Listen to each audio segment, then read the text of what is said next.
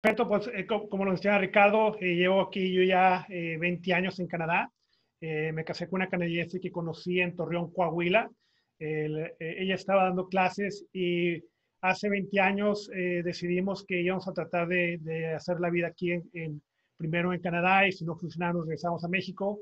Afortunadamente todo salió bien. De hecho, en aquel entonces mi trámite migratorio tardó nada más tres meses. Ahorita el mismo trámite migratorio puede tardar año y medio, etcétera.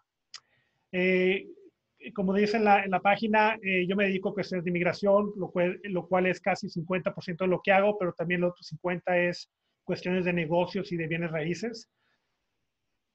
Ah, por lo tanto, en este programa lo que quiero abarcar con ustedes son dos cosas. Eh, bueno, son varias cosas, pero en fin, lo principal es de que ustedes puedan hacer al final del día ver cuál es la manera, la, manera de emigrar a Canadá, de Canadá, eh, de preferencia sin necesidad de consultar a alguien. Obviamente pueden haber ciertas preguntas técnicas que pueden haber durante el trámite, pero el propósito en sí es de que eh, ustedes tengan las herramientas para que de esa manera ustedes puedan ver cuáles son todos los pasos que tienen que tomar para hacer sus propios trámites migratorios o en lo alternativo para ver cómo hacer eh, lo posible para tratar de, tener la meta de lo cual es de emigrar a Canadá. Por lo tanto, la primera parte es dónde encontrar la información. Eh, voy a mostrarles eh, cómo es el, trámite para personas que quieren emigrar a Canadá desde afuera por medio del programa que se llama Express Entry, cómo crear un perfil y opciones cómo de emigrar a Canadá el, ahorita como lo voy a seguir explicando, hay varias formas de emigrar, pero ahorita nos vamos a enfocar al principal, que es el programa que maneja el gobierno federal, que se llama Express Entry. Y por último, eh, otras opciones que hay de venir a Canadá, que son permisos de estudios y permisos de trabajo. Canadá, grandes rasgos, eh, somos aproximadamente 37 millones de habitantes. Eh, es un territorio de casi mil millones de kilómetros cuadrados. Los idiomas oficiales es el inglés y francés. En la provincia donde yo estoy es British Columbia, que es el parte oeste de Canadá. El, idioma que hablamos al 100% es inglés. Eh, no hay muchas personas que hablan francés. De repente puedes ver a, dos, tres personas que lo hablan, pero en la práctica no es el idioma realmente que se maneja aquí en British Columbia. El francés se maneja más bien en el área de, de Quebec y ciertas áreas de Ottawa en Ontario. La capital es Ottawa. La ciudad más grande es Toronto, eh, creo que tiene aproximadamente como 7, 8 millones de habitantes. Luego, obviamente, es Vancouver. El área metropolitana de Vancouver tiene aproximadamente entre 3 y 4 millones de habitantes. Eh, Canadá es considerado por la OCDE eh, el país más educado del mundo. Aproximadamente el 57% de la población tiene estudios universitarios. Por lo tanto, eso habla mucho del tipo de personas que, que inmigra a Canadá y no solamente también de las personas que crecen en Canadá. Es la décima economía mundial. El ranking de estándar de vida, Canadá generalmente está entre los primeros tres lugares de, nivel de vida. Eh, los servicios que hay aquí en Canadá eh, en ocasiones es, eh, son, mucho mejores que en otros lugares. eso lo puedes ver, lo, se puede ver, por ejemplo, ahorita con lo que se ha con el COVID, en comparación de Canadá con Estados Unidos.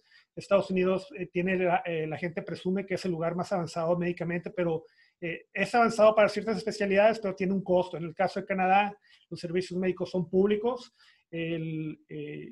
anteriormente, la gente tenía que pagar una cuota anual para servicios médicos, que era aproximadamente como 100 dólares mensuales. En ocasiones, si tienes menos ingresos de cierta cantidad, no pagabas. En el caso de la Columbia Británica, donde vivo, los servicios médicos ya son gratuitos desde hace dos años. Eh, en el caso de otras provincias, cobran, eh, dependiendo de los ingresos de la persona, una cuota mensual. Tasas de impuestos es lo único que sí en ocasiones a la gente no le gusta. A mí en lo personal no me gustan las tasas de impuestos.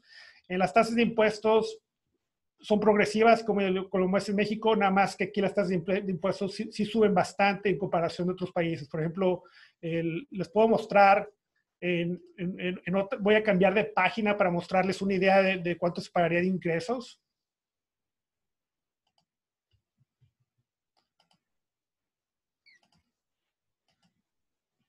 por ejemplo, esta página es una página que generalmente yo consulto para ver cuánto me va, a caer el golpe de, pagar impuestos. En, estos lugares, eh, en estas páginas puedes checar, por ejemplo, una persona que gane salario mínimo, digamos que gana 15 eh, dólares por hora, a un año de, ganar unos 30, 40 mil dólares. Eh, los ingresos de esta persona aproximadamente eh, los, los, impuestos netos es nada más de 4.700, por lo tanto, el ingreso final que recibe la persona son de 25.000.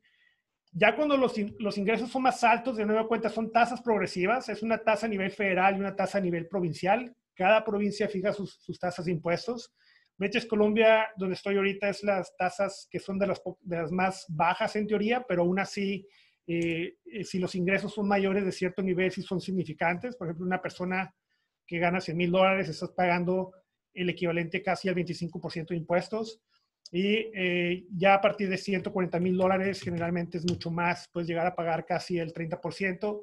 hay personas que llegan a pagar el 51 52%.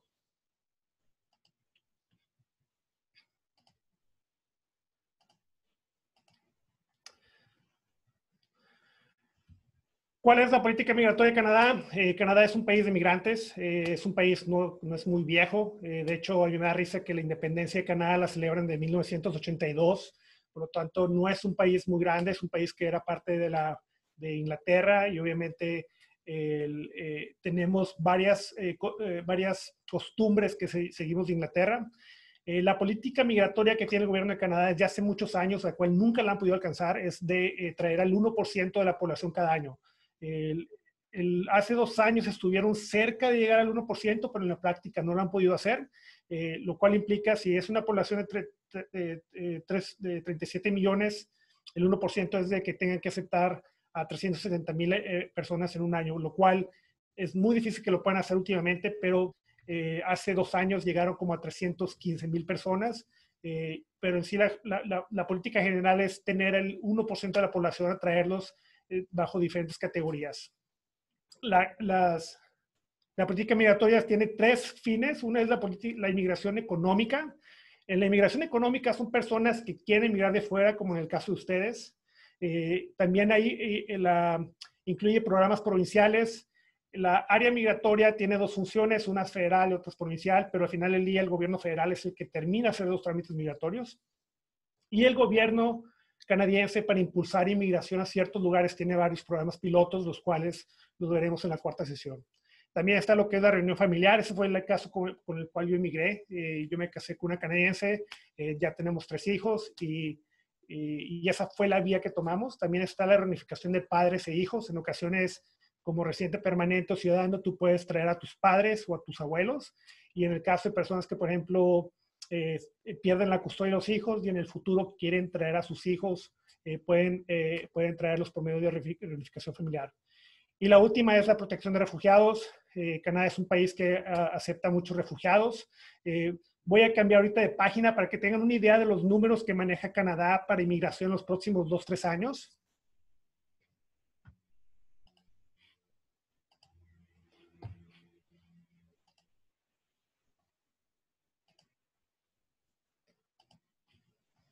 Bueno, en esta página, esa es la política migratoria que de plan que hizo inmigración en 2000, 2018. Eh, eh, esos son los planes de inmigración. hubo un cambio de gobierno con Trudeau y a partir de Trudeau eh, cambió varios el esquema migratorio. Cada gobierno llega y quiere cambiar sus políticas. Es igual en México. En México ahorita queremos a, no queremos apoyar a los empresarios, pero queremos apoyar a las otras personas. En fin, no quiero hablar de política, pero tuve que decirlo.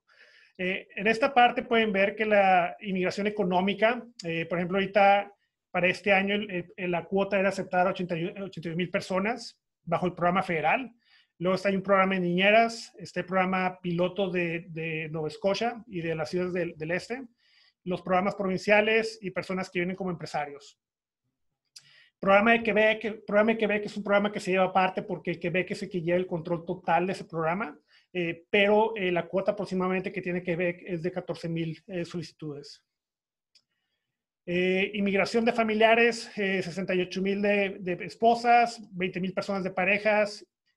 En el caso de refugiados, como pueden ver, el, promedio es de 46 mil personas. Ahora, si ustedes ven la, la política migratoria, el, el, brinco que, va, que tiene migración es de casi 10 mil solicitudes en los próximos dos años. Por ejemplo, para el 2021 se espera que se van a aceptar aproximadamente a 8 más, pero el número total son aproximadamente 10 mil. Ahora, con el COVID eso está cambiando un poco y de hecho inmigración no ha dicho nada al respecto, pero lo que se espera es de que la inmigración por medio de las provincias probablemente baje un poco más por este año y para el 2020, por lo, cuanto, por lo tanto, Inmigración Federal está empezando a invitar a más gente para inmigrar bajo el programa federal.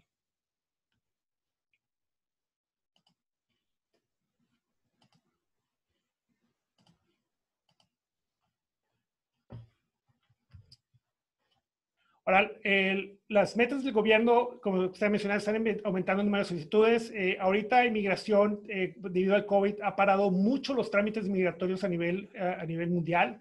Eh, apenas están reactivando las oficinas dentro de Canadá, pero todos los trámites de migratorio de Canadá se hacen en línea, lo cual es el propósito de este foro para mostrarles cómo hacer eso. se, espera que para este año, generalmente para junio 30 de, de cada año, el año pasado Inmigración nada más había enviado invitaciones de personas aproximadamente de 35 mil. Ahorita ya aumentaron esas por 15 mil solicitudes y se espera que en los próximos meses el número de personas que vayan a inmigrar incluso vaya a aumentar. O sea, el número de personas a nivel federal van a aumentar debido a que el número de refugiados va a disminuir. ¿Quién regula inmigración en Canadá? Eh, inmigraciones, hay dos, dos esquemas. Eh, legalmente, inmigración le compete tanto al gobierno federal como el provincial el gobierno federal fija las cuotas para aceptar a personas por cuestiones de seguridad y cuestiones médicas, pero cada provincia tiene una cuota eh, eh, legalmente para, para traer a personas para emigrar. Por lo tanto, la plática que vamos a tener hoy es, es 100% el programa federal, porque es la única vía que tienen las personas para emigrar directamente, excepto por el programa de Quebec. ¿Cómo iniciar trámites migratorios? Generalmente eh, eh, hay mucha gente que me dice, oye, yo ya eh, le hablé a mi, mi, amigo, me quiero ir para allá, ¿cómo le hago? la manera de empezar es, checar la página del gobierno de Canadá. La página del gobierno de Canadá, de Canadá es, es la, que está, la que tengo aquí en la, en la presentación, lo cual se ve como esto.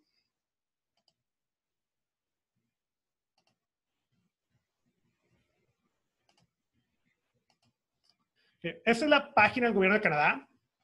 Aquí está toda la información que pueden ver ustedes para, ya sea para estudiar, inmigrar, incluso información de cómo aplicar refugio, eh, programas migratorios que tiene el gobierno de Canadá, etcétera.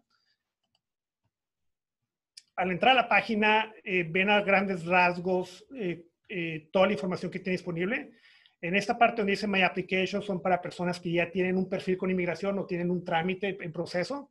En el caso de visitar, son para personas, obviamente, que vienen a visitar. Inmigrar, ya viene toda la información de los programas migratorios que, que tienen. Personas que quieren solicitar la ciudadanía y, obviamente, personas que ya son inmigrantes que tienen que hacer ciertos trámites con inmigración. El caso de refugiados y asilo es información en general. Eh, yo realmente no toco refugio y asilo. Eh, tengo años que no lo llevo por dos razones. La primera razón es todos los casos de refugio y asilo requieren audiencias. Eh, yo desde hace aproximadamente 13 eh, años que no llevo asuntos de refugio. la razón principal fue que en, el, como en 1900, ah, como en el, perdón, como en el 2008, 2009, había muchas personas que están viniendo de México y están abusando del programa de refugios.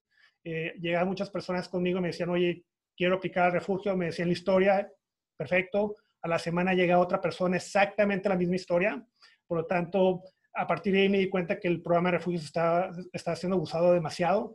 Y la otra es de que, el, eh, como requieren audiencias, llegó un punto en el cual eh, yo ya no tenía tiempo de ir a las audiencias. Por lo tanto, ya tengo mucho tiempo que no llevo asuntos de refugio. Sé al respecto, porque tengo clientes que obviamente están, eh, se van, que me contactan a mí y eventualmente están por esa vía. hay trámites que hago para refugiados una vez que ya son aceptados, pero en la práctica no llevo asuntos de refugio debido al, al tiempo que lleva a tomarlos. Ah, la información de cada provincia, cada provincia tiene su programa migratorio. Eh, obviamente, los más importantes de, programas migratorios es el programa de, Quebec, que es el programa que ellos tienen propio. También está el programa de, Toronto y el programa de British Columbia, pero obviamente cada provincia tiene sus programas y cada programa tiene sus requisitos. Eh, eso vamos a ver en la, en la última sesión, eh, un poco brevemente porque me voy a enfocar más a los programas migratorios que tiene una persona para venirse directamente a Canadá sin necesidad de tener el apoyo de un empleador.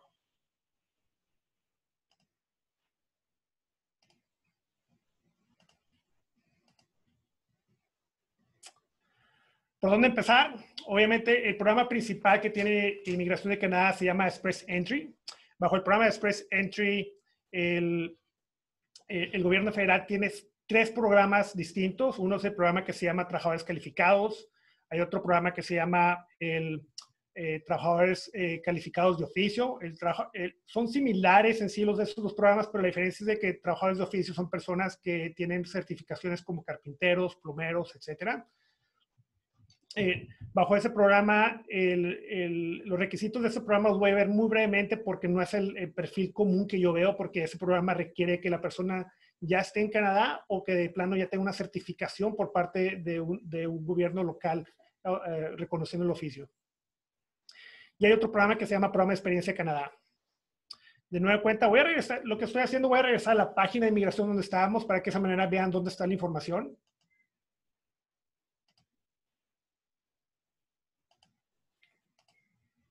Esa es la página que estábamos. Lo primero es entrar donde dice Migrar a Canadá y aquí es donde dice Express Entry. De nueva cuenta, hay varios programas migratorios. lo que puedo hacer es brevemente nada más mencionárselos. El programa de Start Visa es un programa que es administrado por compañías de tecnología. Eh, para entrar a ese programa se requiere el apoyo de, un, ah, de un inversionista que está autorizado por el gobierno de Canadá es el programa de niñeras. El programa de niñeras es, son para personas que tienen la oferta de trabajo de un empleador y eh, van a venir a cuidar ya sea una persona de mayor edad o a un niño o a, niños. El patrocinio de familiares, eh, dominaciones provinciales es lo que decía de que cada provincia tiene la capacidad de patrocinar a alguien. Por lo tanto, por medio de la provincia una persona puede ser aceptada para aplicar la residencia, pero al final del día Inmigración Federal es el que termina el trámite. Este es un programa nuevo, programa rural. El programa rural son para personas que viven en ciertas comunidades eh, eh, en, las, cuales la, comunidad son las que apoyan a la persona emigrada a Canadá. Eh, las, comunidades no son las que, las que deciden quién va a emigrar o no. El requisito es vivir en una comunidad y que la comunidad, después de un año o dos años que estés ahí, la comunidad te apoya a aplicar a la residencia por medio de los programas rurales. Y el programa agrícola es un programa que lo acaban de abrir literalmente hace, eh, probablemente hace tres meses cuando empezó lo del COVID. El problema que pasó con el programa agrícola es de que eh, tenemos el tratado entre, entre Canadá y México y hay un tratado entre Canadá y eh, Jamaica para traer a trabajadores temporales. los trabajadores temporales han venido a Canadá desde hace 40, 50 años. Vienen temporalmente, trabajan cierto tiempo y se regresan a, a México o a Jamaica. El programa agrícola eh, les permite por fin tratar de aplicar la residencia permanente. Son varias restricciones que tienen eh, los, trabajadores agrícolas, ya que no pueden emigrar bajo los programas que los trae temporalmente, tienen que salirse del programa y luego eventualmente aplicar a la residencia bajo el programa agrícola. Pero en fin, lo que vamos a ver nosotros es el Express Entry. Eh, aquí viene información en general, cómo trabaja el Express Entry, documentos que necesitan, cómo ingresar el perfil, etcétera. Ah, voy a regresar un poco a la otra página.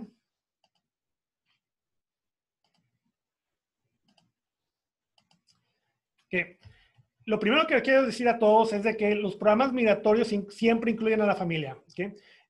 Cuando una persona quiere emigrar a Canadá, siempre debe incluir a la esposa, debe incluir a los hijos, etc. No hay un programa migratorio que te diga, sabes qué, eh, yo me voy primero tengo los papeles y, y, ahora sí ya te puedo traer. Cuando se hace un programa migratorio, si una persona está casada o con hijos, siempre se tiene que incluir a esas personas. Si no se incluyen a esas personas, es, eh, el, riesgo que hay es que después inmigración no va a reconocer la relación.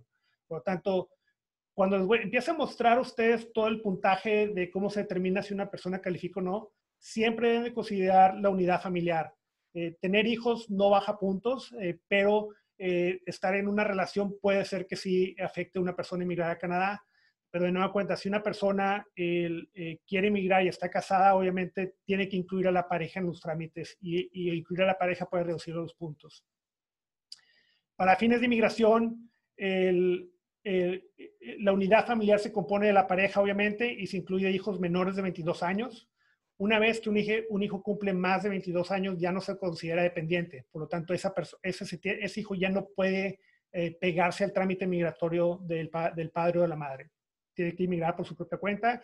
Hay excepciones, es en el caso de que, por ejemplo, el hijo, por cuestiones médicas o de salud no pueda, eh, eh, depende económicamente de los padres, pero el riesgo de tratar de, incluir a alguien que depende económicamente o, tenga problemas de, mentales es de que se puede considerar inadmisible a ese familiar.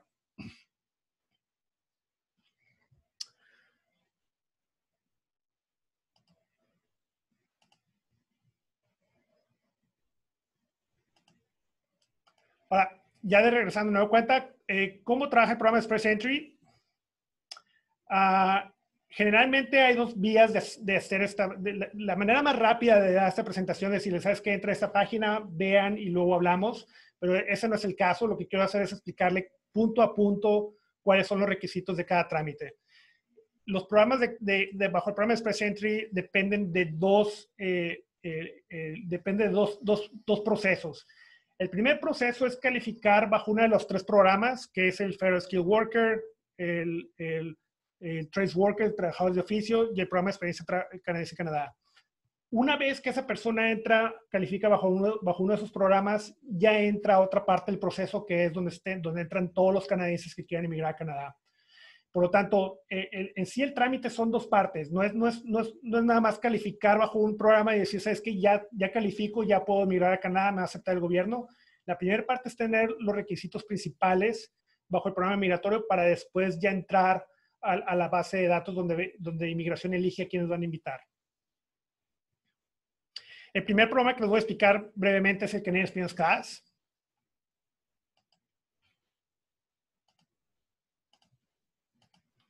Bajo el programa de experiencia canadiense o Canadian Experience Class, son dos requisitos que hay bajo ese programa. El primer requisito es trabajar en, Canadá en una ocupación, en una ocupación calificada eh, por un año y tener un nivel mínimo de inglés. Son los únicos dos requisitos bajo ese programa.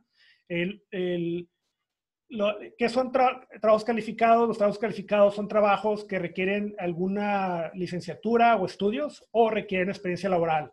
Por ejemplo, eh, una persona que quiere emigrar en base eh, a una ocupación calificada por estudios que se considera eh, clasificación A o clasificación A o O. En ese, en ese caso, la persona es, por ejemplo, un doctor, es un abogado, porque la clasificación de empleos de Canadá exige que la persona tenga un título. Hay ocupaciones que te piden experiencia laboral. Por ejemplo, en el caso de cocineros, el gobierno de Canadá pide tres años de experiencia para ser considerado un cocinero. En el caso de carpinteros se requiere tener tres años, etcétera. Por tanto, la clasificación del empleo es muy importante una vez que la persona quiere emigrar, porque el problema es de que si una persona ha estado trabajando en una ocupación que no se considera calificada conforme el gobierno de Canadá, no calificaría algún programa migratorio. Por lo tanto, en el programa de, experiencia canadiense, la persona debe estar en Canadá trabajando por un año y una vez que cumple el año ya reúne el requisito principal que es de cumplir las 52 semanas de trabajo y hacer un examen de inglés. El examen de inglés, ahorita les voy, les voy a comentar qué exámenes acepta inmigración. Y la persona debe tener un nivel mínimo de 7 en el caso de ocupaciones que requieran estudios y el nivel de inglés para otras ocupaciones es de 5.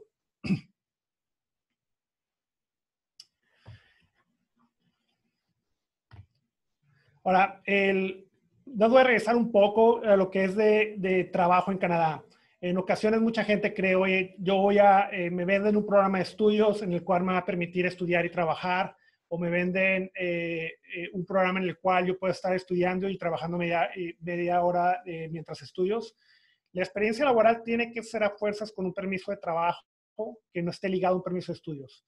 en pocas palabras, la persona primero tiene que estar en Canadá físicamente, tiene que tener el permiso que le permita ejercer esa ocupación y ya con ese permiso trabajo todo un año y, ya reúne el primer requisito. El requisito son, de nueva cuenta, son 52 semanas de trabajo ganando mínimo 30 horas por semana. Las horas no son acumulables. O sea, si una persona en una semana trabaja 80 horas y la siguiente semana trabaja 10, no son acumulables las horas. El, inmigración pide que mínimo la persona trabaje 30 horas por semana. Y el otro requisito es de que la persona tenga mínimo eh, eh, el salario promedio que se dé de la ocupación. Por ejemplo, muchos de los problemas que veo de personas que vienen aquí es que dicen, oye, yo ya estudié en Canadá, me dieron mi permiso de trabajo, estoy estudiando, y estoy trabajando ahora de tiempo completo, pero me están pagando el salario mínimo en una ocupación que se requiere, que, eh, que requiere un salario de 30, 40 horas. perdón, 30, 40 dólares. Eso lo que va a pasar es de que cuando inmigración vea los documentos que comprueben el trabajo, la persona eh, no va por eh, inmigración va a decir, ¿sabes qué? Muchas gracias por haber trabajado eh, todo el año como carpintero, plomero, etcétera, o como abogado, pero el salario que te pagaron no es acorde a la ocupación, por lo tanto no te voy a reconocer la experiencia laboral. Eh, muchos clientes que tengo, el, el, otro problema que tienen es de que vienen a, invertir a Canadá y dices, es que ya tengo mi permiso de trabajo, hice mi inversión, pero nunca se pagaron salarios. En ese caso, inmigración también te puede decir, ¿sabes qué? Qué bueno que trabajaste las 52 semanas, pero no hay ningún documento fiscal que demuestre que trabajaste las horas, por lo tanto, no te voy a reconocer experiencia laboral.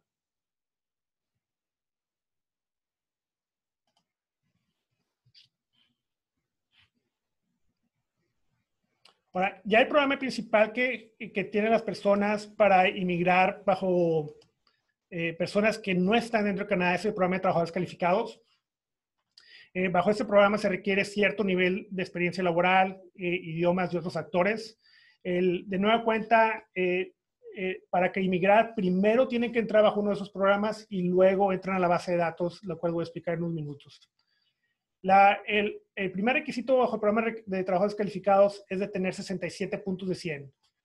¿Cómo se calculan los puntos? El puntaje es, eh, hay seis factores. El primer, el primer factor que pusimos es el factor de idiomas, eh, los cuales eh, los exámenes que se requieren es el IELTS y CELPIP.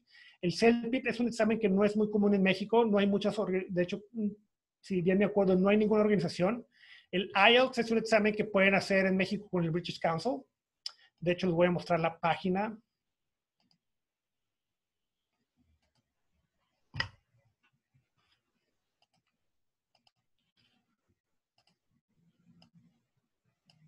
Ah, creo que está por aquí. Oh, perdón. Aquí está. Esa es la página del British Council. Eh, ellos se encargan de administrar el examen de inglés en diferentes ciudades de México. Ahorita, obviamente, debido al COVID, eh, creo que no hay ningún lugar lo están haciendo ahorita tanto ni en México como en Canadá, pero eh, ese, es el ese es el examen oficial que acepta inmigración. Eh, hoy, por ejemplo, tuve una llamada antes de la, de la, cita en la cual una persona me dice, oye, yo tengo un buen, excelente nivel de inglés, quiero emigrar a Canadá, hice el TOEFL. El TOEFL no es un examen que va a reconocer inmigración.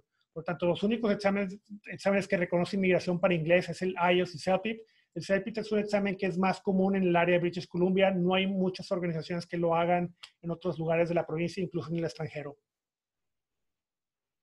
De nueva cuenta, aquí en la página de, British Council pueden ver dónde hacerlos, eh, cómo hay, cursos que, ofrecen la misma institución. Y tengo entendido que el examen lo pueden hacer en varios lugares, creo que es Guadalajara, Monterrey, eh, México, y, y, en ocasiones hacen los exámenes en otras ciudades como Puebla, Tijuana, etcétera.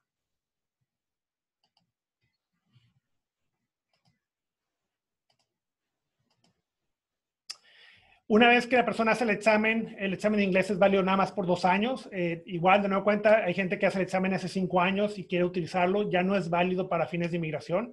Eh, el examen de inglés eh, tiene exactamente dos años. Me ha pasado casos en los cuales, incluso por dos, tres días que se ingresa el trámite, ya no lo acepta inmigración y la persona tiene que volver a hacer el examen de inglés.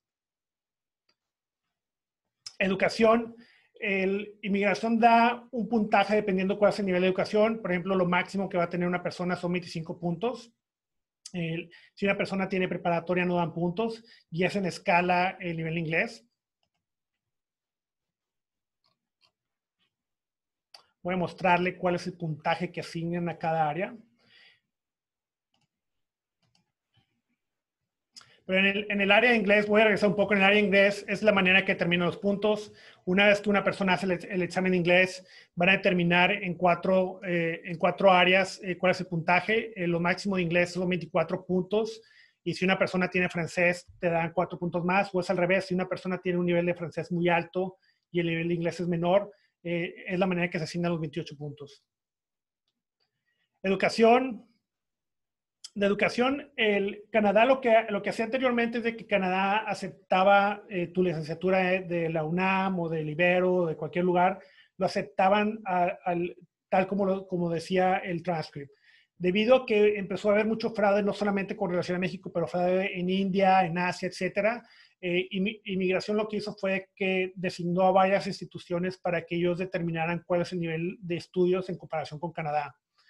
El nivel de estudios eh, que reconoce Canadá se llama, eh, el reconocimiento de estudios se llama Education Credential Assessment, o le dicen ECA, y, ese examen se hace con, nada más con unas instituciones que son aceptadas por el gobierno de Canadá. De hecho, aquí tengo otro vínculo. Las instituciones que nada más reconoce Canadá para el ECA es el, ah, se llama WES, el IAC, que es la Universidad de Toronto, eh, perdón, la Universidad de Toronto, que es eh, Comparative Education Service, y hay una institución que se llama BCIT, que está en British Columbia. Y obviamente estas tres instituciones son las cinco instituciones son las que te dicen cuál es tu validez de estudios. Cada institución eh, tiene, tiene sus propios costos de cuánto te cobran por el trámite este trámite de ECA se puede hacer desde México, no es obligatorio hacerlo presencial. Eh, la mayoría de los requisitos que tienen las, estas instituciones es de que se ingrese la solicitud, se envíe una traducción de las materias que se cursaron y una copia del título igual traducido, y luego se le pide a la institución en México que envíe directamente los resultados, eh, lo que se llama el transcript o el, CARDEX, lo envíen directamente al WES para que el WES determine cuál es el nivel de estudios. Ahora, una vez que se tiene el reporte del ECA, eh, el ECA es válido por cinco años y las instituciones te ofrecen renovarlo. por ejemplo, si una persona no puede emigrar ahorita dentro de cinco años, quiere hacer el, quiere ahora sí ya emigrar, puede pedirle a las instituciones que renueven el CARDEX. Por lo tanto, e, es, este, el ECA generalmente yo lo recomiendo hacer cuando recién están empezando a hacer el trámite porque es un proceso que puede tardar de, de dos a cinco a seis meses.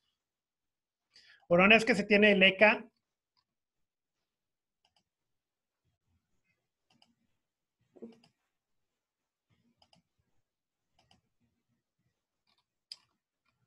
una vez que se tiene el ECA, el, no, me, no me queda el puntaje, pero en fin. Una vez que se tiene el ECA, el puntaje se eh, determina, por ejemplo, una persona con estudios de licenciatura son 21 puntos, personas que tienen una licenciatura más un diplomado son 22 puntos, maestrías son de 23 a 25 puntos, dependiendo de qué maestrías hicieron.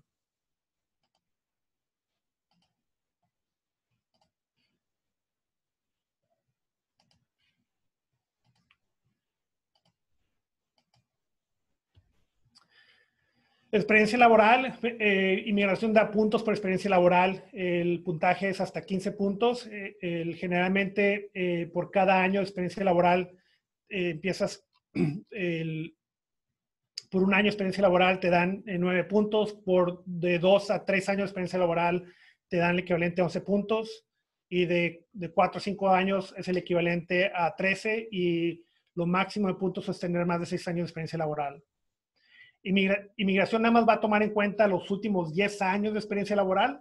Eh, por ejemplo, me ha tocado muchas personas que ya tienen 45 o 50 años y me dicen, oye, hace 15 años yo trabajé eh, 7 eh, años como abogado, etcétera.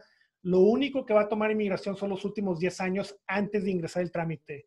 Si una persona se tarda en hacer el trámite, puedes empezar a perder experiencia laboral que ya tenías. Por lo tanto, eh, eso debe tomar en cuenta el momento de, de, hacer los trámites eh, con inmigración, de que siempre es nada más los 10 años antes de ingresar el trámite. Ahora, por edad también, eh, edad es un factor que, que, lo toma en cuenta inmigración. Lo que quiere el gobierno de Canadá es tener a gente joven que sea productiva, en lugar de aceptar personas que ya están en los últimos años de sus vidas. El puntaje se determina eh, a partir de los de, 18 a 35 años, se tiene el máximo de puntos que son 12. Eh, son 12.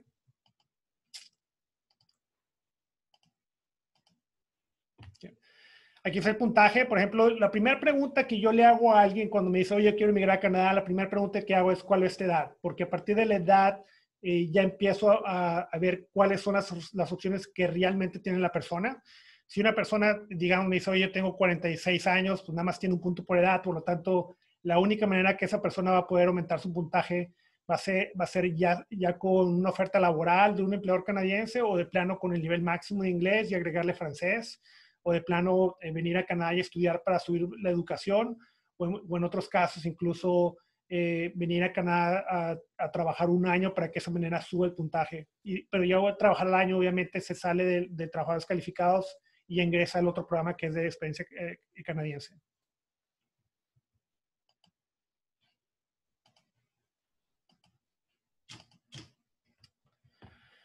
Adaptabilidad eh, es otro de los seis factores. Ah, perdón, oferta laboral. Eh, si, si, una persona quiere emigrar a Canadá y tiene una oferta laboral de un empleador eh, que, y esa oferta laboral tiene que estar validada por el, por el Departamento de Trabajo de, de Canadá, en ese caso da 10 factores más eh, por tener la oferta de trabajo y aparte da 5 puntos más en la adaptabilidad.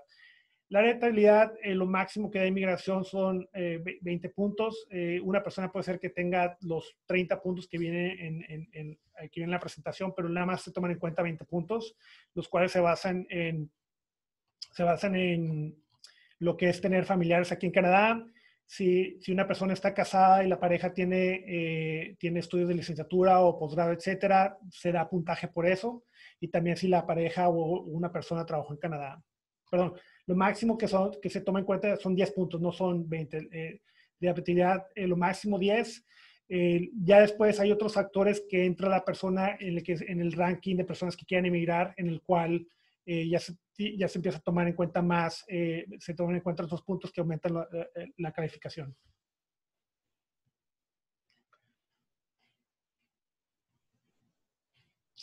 Ahora, bajo el programa de, de de trabajadores calificados de nueva cuenta los de oficio es de la persona de tener un nivel de inglés medio, o sea, no es un requisito muy alto, y debe tener la oferta de trabajo de un empleador canadiense o tener una certificación ante el gobierno de Canadá.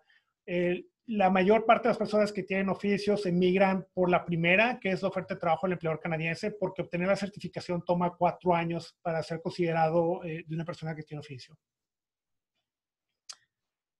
Ahora, una vez que la persona, eh, voy a, voy a regresar un poco a la primera página de inmigración para que vean eh, si una persona, eh, cuál es el puntaje de un, un ejemplo común que, que, yo veo.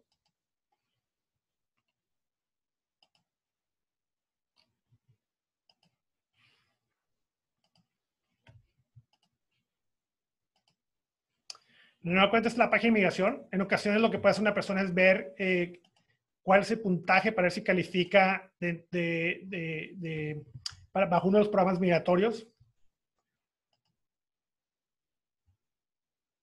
Por ejemplo, en caso de una persona que generalmente eh, todo esto no va a cambiar, al menos que pongas Quebec. Si entras bajo Quebec, el, sistema no te va a permitir seguir con el cuestionario porque Quebec tiene su propio programa migratorio.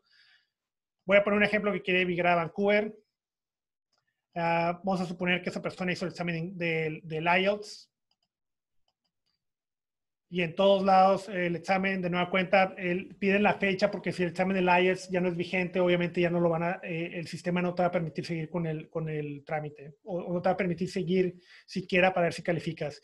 En el caso de, de, eh, en mi caso, por ejemplo, lo que hago es de que le muestro a personas, suponiendo que acaban de hacer el examen para que de esa manera tengan una idea,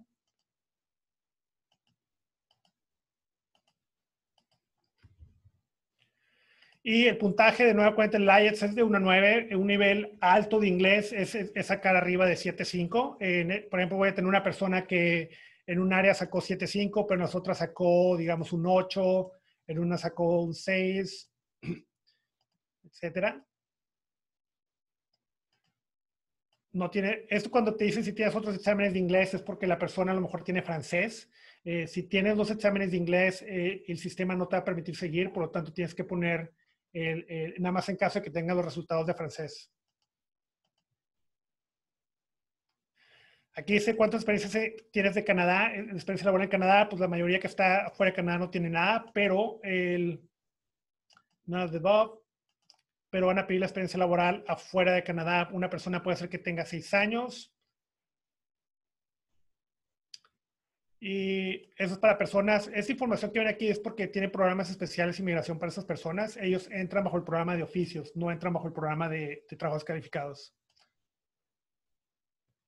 ¿Cuánto dinero tiene la persona? Es un factor que no había puesto en el cuestionario, pero inmigración pide que la persona que vaya a emigrar a Canadá sin estar en Canadá tenga cierto, eh, cierto, ciertos ahorros para establecerse en Canadá.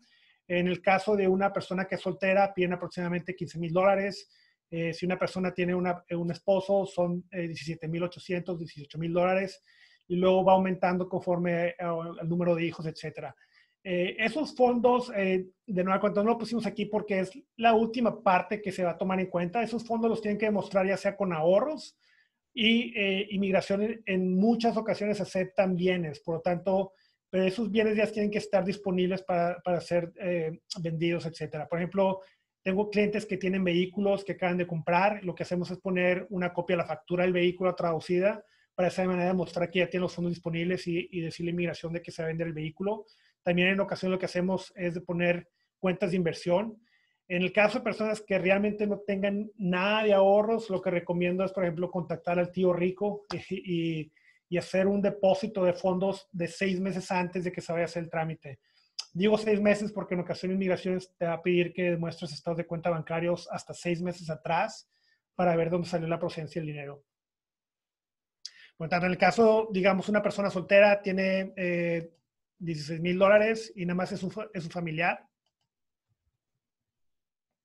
no tiene una oferta de trabajo, y fecha de nacimiento es para determinar el puntaje por edad. Por lo tanto, vamos a suponer que una persona tiene, digamos, nació en 1990 o uh, vamos a poner 85.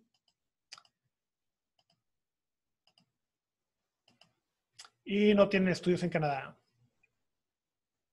Perdón, ese es el a nivel de estudios de la persona. El, voy a poner el nivel de estudios que generalmente yo veo, que es el de que la persona que tiene eh, una licenciatura y una maestría. Eh, en el caso de una persona que tiene nada más, digamos, una licenciatura, se, se ponen en esta parte, se pone nada más a, perdón, esto es para personas que tienen una licenciatura y maestría. Esta parte que bachelor's degree es una persona que nada más tiene la licenciatura. Y eh, nunca ha estudiado en Canadá. Y la persona está soltera. ¿Okay? Generalmente, el inmigración te va a decir, sabes que sí tienes en principio los puntos para calificar, eh, por lo tanto ya crea tu perfil y empieza a procesar tu trámite. Por lo tanto, eso es lo primero que yo hago con los clientes, de ver, a ver primero calificas bajo el puntaje, de el, primer paso que es de ver si calificas bajo un programa migratorio. Y una vez que calificas bajo el programa migratorio, ya nos vamos a la siguiente parte del trámite, que es la parte donde ya ahí se empieza, empiezo a decirles a los clientes si realmente van a calificar o no. Ahora, el primer paso, de nueva cuenta, es calificar bajo entre esas tres categorías. Ahora el siguiente paso es entrar a la base de datos de cuántas personas quieren inmigrar a Canadá. Que la manera, inmigración, en el pasado lo que hacía inmigración es que decías, yo, yo tengo 67 puntos o tengo 70, 75. Inmigración en el pasado te aceptaba el trámite. O sea, si tú tenías el puntaje, metías sus papeles, inmigración los tenía que procesar a fuerzas. Eso generó que los trámites de inmigración para trabajadores calificados empezaron a alargar, en lugar de ser un año, de repente pasaron a ser dos años, luego tres, y eventualmente llegamos a, ciertos países, por ejemplo, India, se están llegando a tardar de siete a ocho años. Inmigración lo que hizo eh, fue decir, ¿sabes qué? No podemos seguir con esto, tenemos 700 mil, 800 mil solicitudes en, trámite, eh, no vamos a poder procesarlas a todas porque ya hay gente que incluso ya llegó a fallecer. Por lo tanto, lo que vamos a hacer es cambiar el esquema de, inmigración a Canadá. Eh, lo que hizo Canadá fue es que adoptó un poco el sistema que tiene Australia, que es el puntaje para invitan a, los, a las personas que tienen el mayor puntaje. Y ese puntaje se llama Comprehensive Ranking System Tool o CRS. Bajo este puntaje, eh, los mismos factores que vimos anteriormente, ahora son los factores que se van a determinar, pero en base a todas las personas que quieren emigrar a Canadá.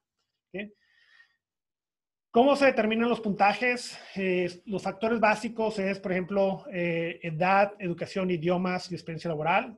El, el, puntaje máximo son 1.200 puntos. Inmigración te va a asignar un puntaje dependiendo de todos los siguientes factores. Edad, si una pareja está soltera, eh, son 110 puntos. Creo que da más suerte estar soltero en ocasiones que estar casado. igual la educación, si una persona está soltera, son 150. 140. Por, lo tanto, en pocas palabras, si una persona está casada, eh, a pesar de que el matrimonio sea muy feliz, etcétera, la pareja le quita puntos a la persona.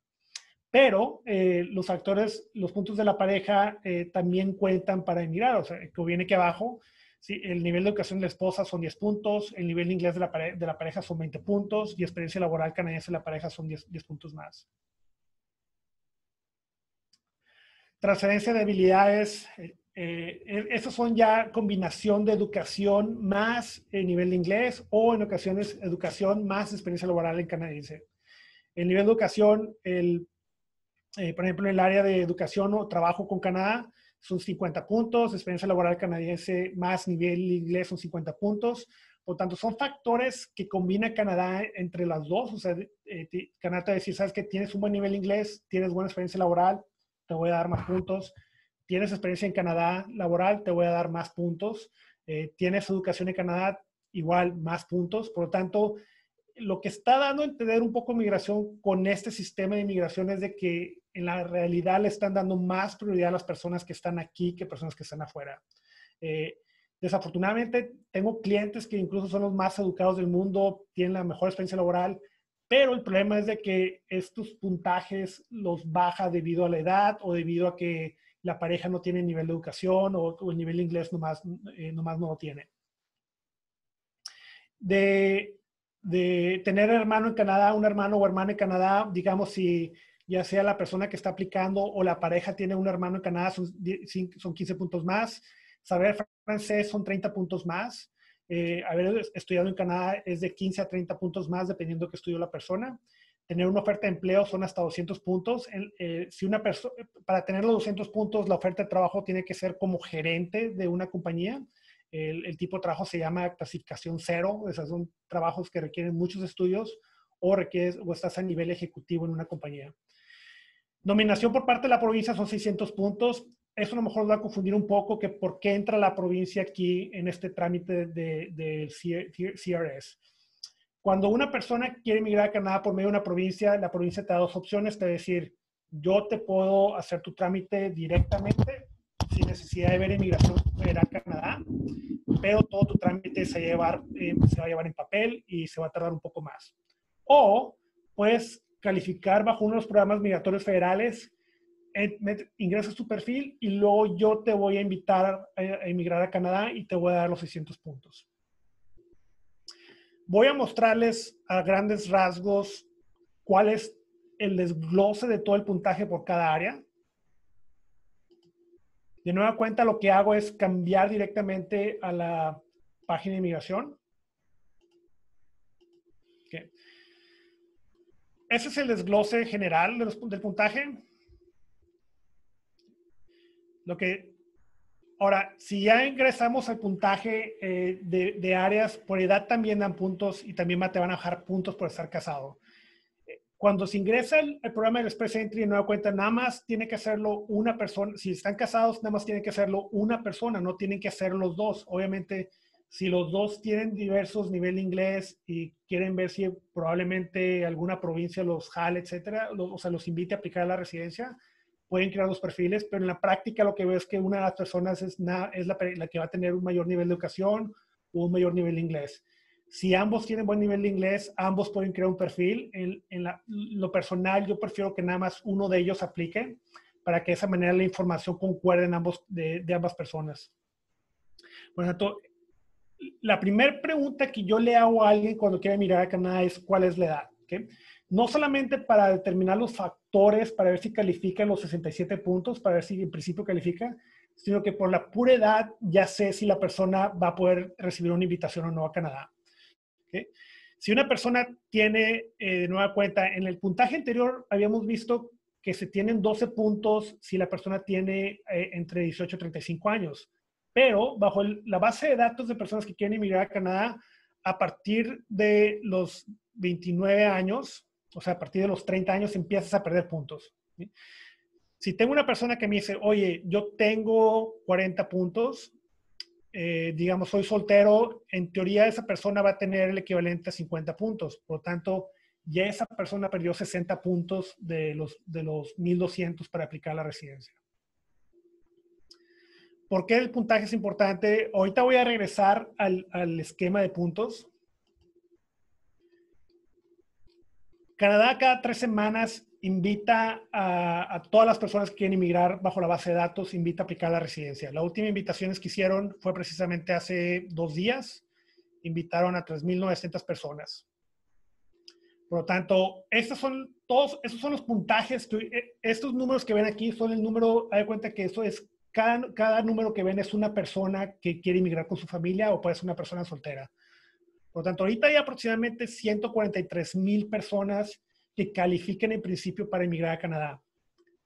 Y como les había dicho al principio, el número de invitaciones que ya estoy ahorita son de casi 49 eh, mil solicitudes de personas que ya fueron invitadas. En ocasiones inmigración invita a muchas personas, pero eh, no tienen todo el trámite completo y automáticamente se lo rechazan y tienen que volver a empezar a hacer todo el trámite. Ahorita para recibir una invitación directamente por parte de inmigración, la persona debe tener aproximadamente, en mi opinión, una persona para inmigrar sin problemas y recibir la invitación debe tener aproximadamente el equivalente a casi 450, 460 puntos, sería lo ideal. Eh, ¿Por qué? Porque después de 450 tienes aproximadamente a todas esas personas arriba de ti. Ahora, esta base de datos se actualiza literalmente cada dos, tres días. Eh, cuando una persona recibe una invitación, e, ese esa invitación desaparece de esta base de datos y se vuelve a actualizar el sistema para ver cuántas personas tiene, para ver cuántas personas hay en la base de datos. Por ejemplo, si una persona me dice, oye, yo ya hice mi, análisis para ver cuántos puntos tengo, tengo 350 eh, puntos, y le digo a la persona, ¿sabes qué? En realidad las probabilidades de que califiques para emigrar a, Canadá no, no tienes puntaje. Cuando tienes el puntaje por edad, cuando una persona pierde 50, 50 puntos por tener 40 años o, tiene, o le faltan 20 puntos eh, y quiere estudiar a Canadá, pero al mismo tiempo va a subir de edad, etcétera, todo ese puntaje se determina para ver si una persona realmente va a recibir una invitación o no por parte del gobierno de Canadá. Ahora, ya regresando a nueva cuenta, como pueden ver, entre más mayor sea la persona, más puntos se van perdiendo y obviamente eh, estar casado eh, no es es, es, bonito estar casado, pero en ocasiones el problema es de que la persona no va a tener eh, suficientes puntos por haberlo estado casado. No recomiendo divorciarse para obtener papeles, que si, sobre todo si la pareja, el matrimonio está funcionando bien. Ya si tienen problemas en el matrimonio, a lo mejor pueden considerar de que, de que es mejor que uno emigre a Canadá y luego ya inicie otra vida. Pero en fin, eso no es, no, no estoy promoviendo divorcios, obviamente, no lo tomen así, pero en lo que, eh, pero lo que hace me da risa que me dicen clientes, oye, ¿y qué te parece, qué, qué, pasa si me llego a divorciar a mi esposa? Tengo más puntos. Pues ya es algo de ellos, no es algo que yo esté impulsando. Nivel de educación, eh, si una persona de nueva cuenta está casada, tiene menos puntos. Eh, tener preparatoria no califica, perdón, el tener preparatoria te, da 30 puntos, pero la verdad no es muchos puntos de todos modos, porque bajo los factores, de los 67 puntos de factores, no dan puntos por tener preparatoria.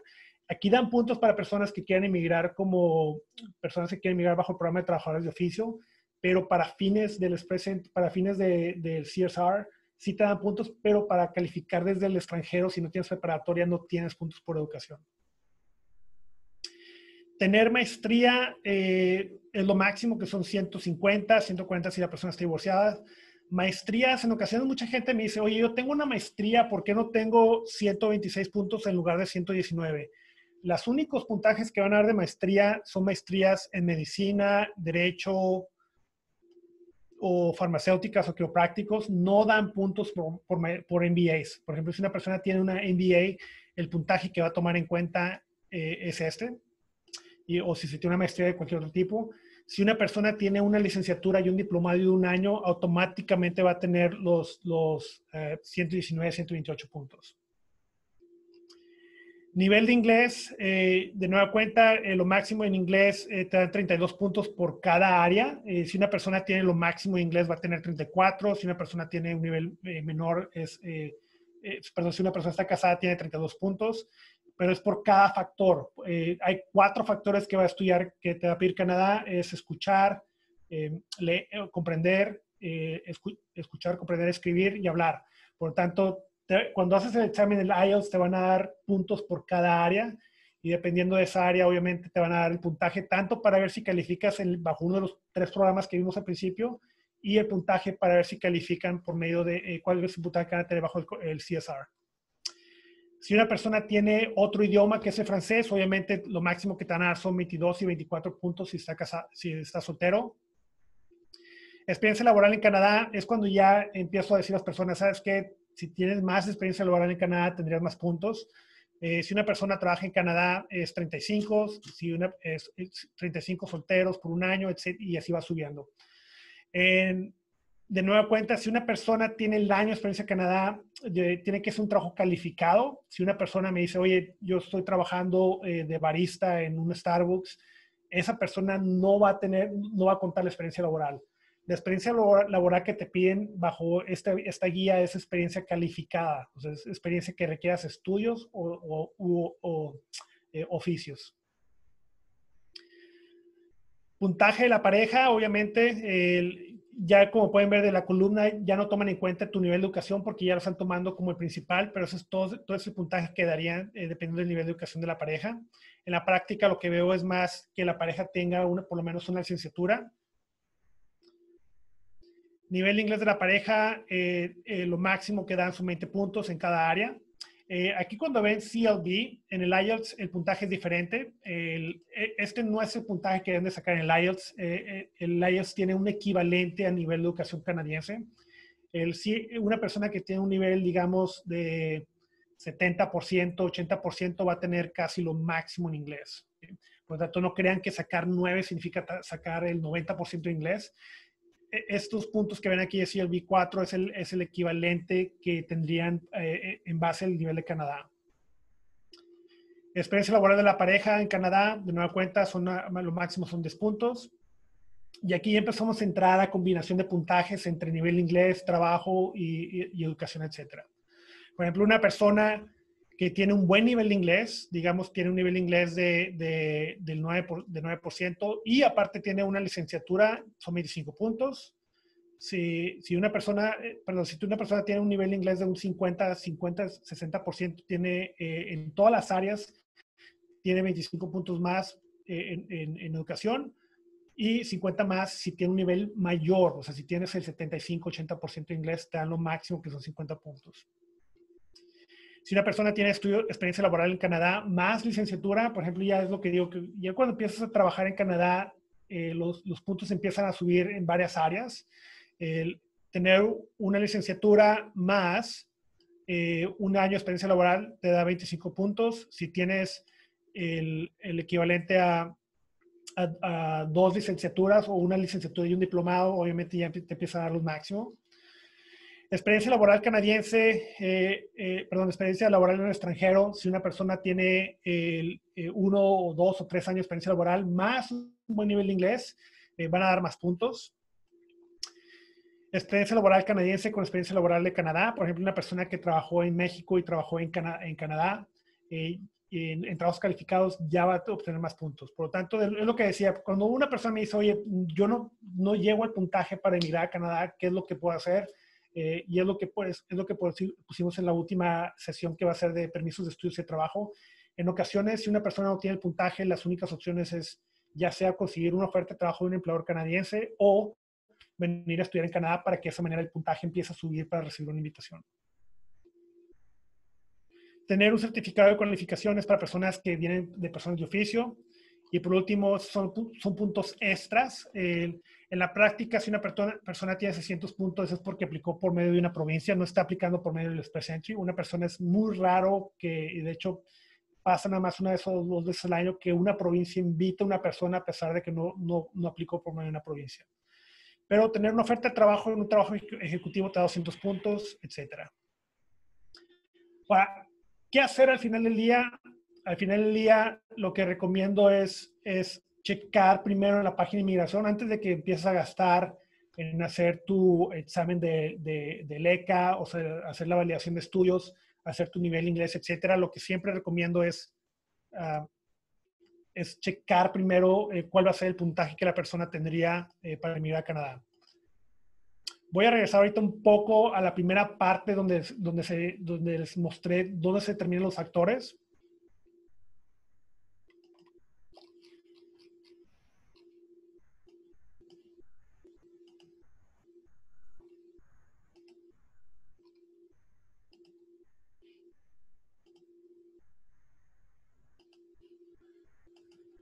En la práctica lo que hago, de nueva cuenta, cuando, estoy, cuando tengo citas en personas con gente, lo que hago es determinar cuál es el puntaje que tendría la persona, suponiendo que ya tienen eh, el examen inglés hecho, etc.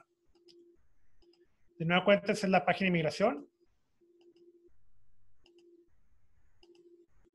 Ups, perdón.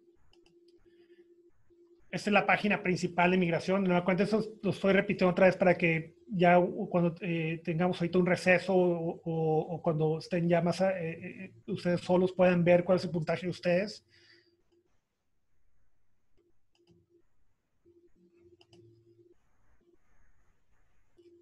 Lo primero que hago es checar el puntaje de una persona. El, con el puntaje, de nueva cuenta, te ahorras mucho tiempo de decir, ¿sabes qué? Voy a hacer mi examen inglés, voy a estudiar más fuerte, etcétera. Lo primero que hago es, ah, no sé si, creo que aquí puse el vínculo. Voy a regresar un poco primero para que tengan la oportunidad de ponerlo en su browser.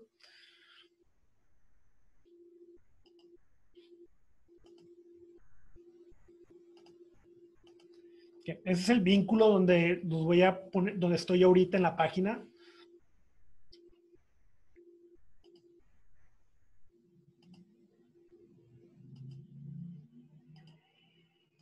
Ahora voy a regresar al ejemplo de nueva cuenta, una persona que tiene una licenciatura, pero tiene, digamos, 35 años, que una persona soltera, tiene, digamos, 35 años.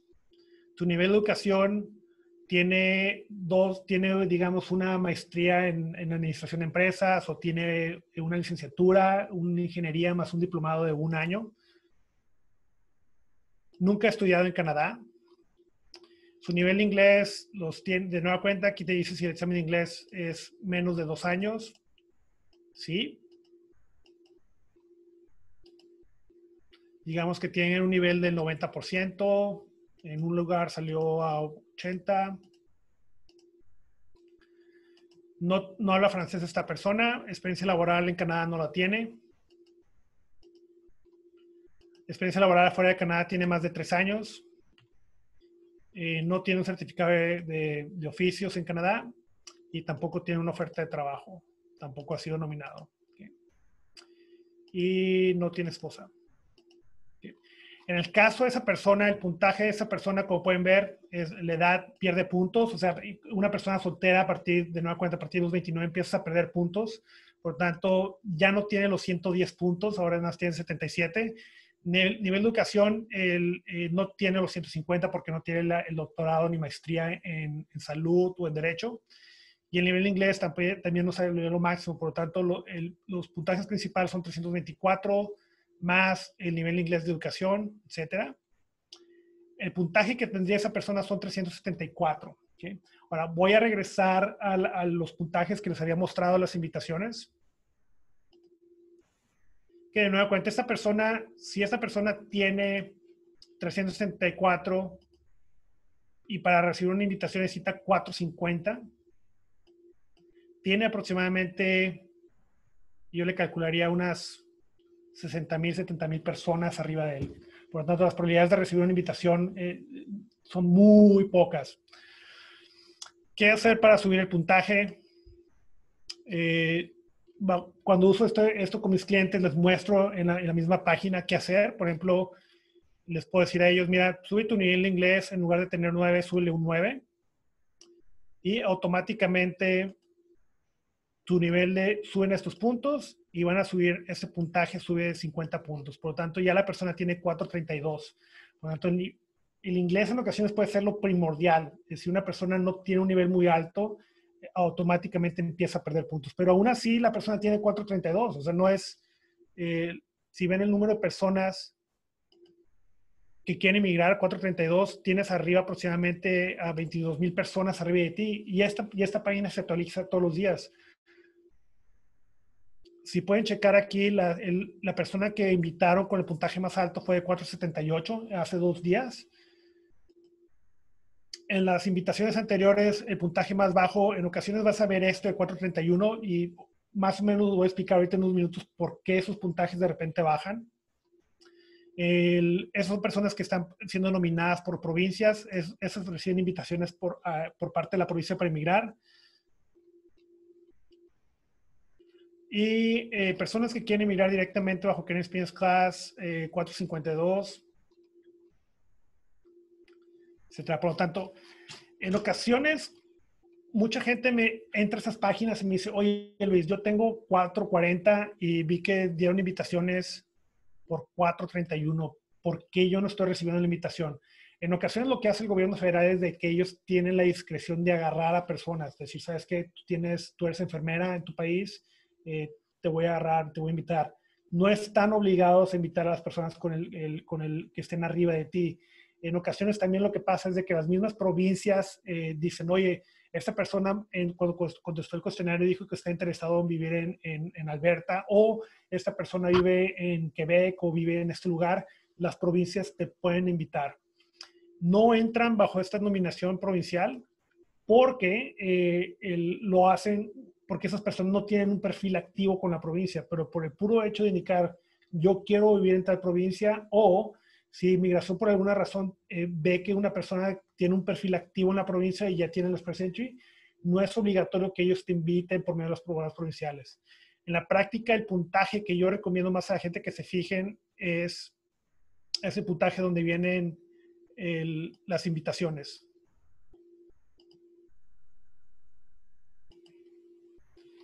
Es ese puntaje, porque ese puntaje es el que te dice cuántas personas realmente están en el sistema y cuál, y cuál es tu diferencia en comparación de ellos. Para regresando a los ejemplos, de nueva cuenta, esa persona tiene 432, dudo que reciba una invitación. Eh, yo siempre más o menos calculo que, ahorita calculo que más o menos el puntaje es de 450. ¿Qué opciones tiene esa persona? Ya tiene lo máximo de inglés. Eh, aquí si subo el puntaje de inglés, digamos a un 10 u 11, la verdad ya no, ya no va a cambiar nada el puntaje. A lo mejor sube 3, 4 puntos, a lo mejor 8, pero aún así no va a cambiar nada. Por lo tanto, lo único que podría hacer esta persona que tiene 35 años es haber estudiado en Canadá. Si la persona dice, yo estudié en Canadá, tengo, estudié una diploma de un año, ya automáticamente aquí gana 15 puntos por haber estudiado en Canadá. Por lo tanto, ya tiene 4.47. Por lo tanto, ya es un puntaje que es más decente. O sea, puede ser que reciba, que reciba una invitación ah, a finales del año. Eh, obviamente, lo ideal sería que tuviera incluso más puntos para que esa manera no, esté esperando a ver si la va a recibir o no. Por lo tanto, estudiar en Canadá uno o dos años da puntajes, da más puntos, perdón. Si la persona estudia, digamos, una carrera, son 30 puntos más. Por lo tanto, en ese caso, esa persona ya es, las probabilidades de que reciba una invitación con ese puntaje es, mucho mayor. Ahora, vamos a suponer que esa persona no estudió en Canadá. Vamos a poner aquí que no estudió en Canadá. Pero sí trabajó en Canadá un año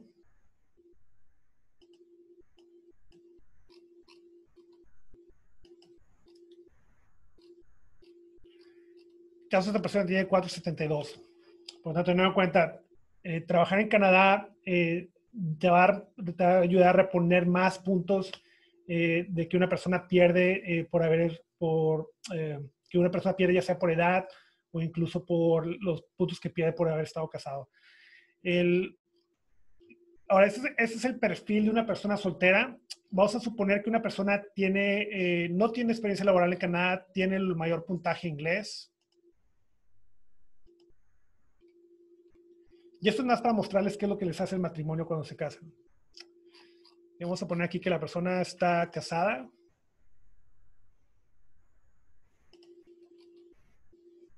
Ah, no es canadiense. Va a venir a Canadá. Y vamos hacia abajo. Nivel de educación de la pareja, vamos a poner que tiene una licenciatura. No tiene experiencia en Canadá. Hizo el examen de inglés, pero vamos a ponerle con un puntaje, digamos, un poco medio.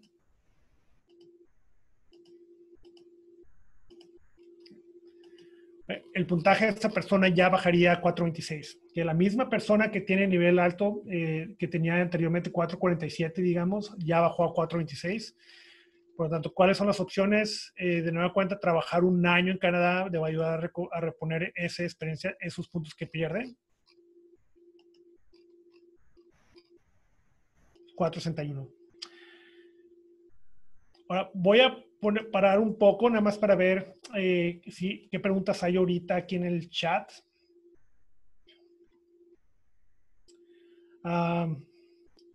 con Study Permit, voy a regresar más a ver los puntos anteriores de las preguntas que hicieron anteriormente. Por ejemplo, con el Study Permit, la persona tendría, obviamente, tiene más puntos en el área de, eh, eh, en el segundo, ahorita ya me estoy enfocando en el segundo factor. Una persona tendría, el, tenía más puntajes. Ahora, el, de, una persona puede venir a Canadá a estudiar en una, escuela pública eh, de preferencia para que la pareja pueda obtener un permiso de trabajo. Eh, esas son las maneras en las cuales una persona puede manejar el puntaje para que de esa manera eh, puedan recuperar los puntos que se pierden por ya sea por edad o porque la pareja no tiene el mismo nivel de, inglés o de educación. Por, lo tanto, si una persona viene a estudiar en Canadá, tiene que hacerlo en una escuela pública para que la pareja aplique un permiso, califique un permiso de trabajo abierto. Eh, otra pregunta es si existe algún simulador calculado para los puntos que requiere inmigración. Es lo que estamos viendo ahorita. Cualquier tipo de programa de licenciatura da los, da los mismos puntos. Sí da los mismos puntos. El único problema es de que estudies en una escuela eh, que no esté registrada, porque la, la, organización que se encarga de, revisar el puntaje, ellos van a determinar si, si, la escuela está reconocida o no. Si la escuela ha tenido problemas de registro con la SEP, puede ser que el, que el ECA no te lo reconozcan. La oferta laboral que consigue el programa de trabajos calificados es el MAE, así es una LMAE. Mi esposa tiene 26, yo tengo 29, ambos médicos. En ese caso, eh, tendrían que ser, eh, es lo mismo puntaje para personas independientes del nivel de inglés. perdón, independientemente, o sea, el, si la persona tiene nivel de educación de como doctora o, doctor, el, el Education Credential se hace con otra organización.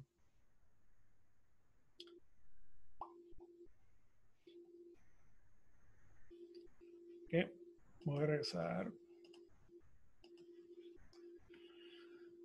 Ahora, eh, lo que estamos hablando ahorita, ¿qué ¿cuáles son las opciones para subir el puntaje? Eh, menores de 30 años es subir el puntaje en idiomas porque tiene lo máximo en edad.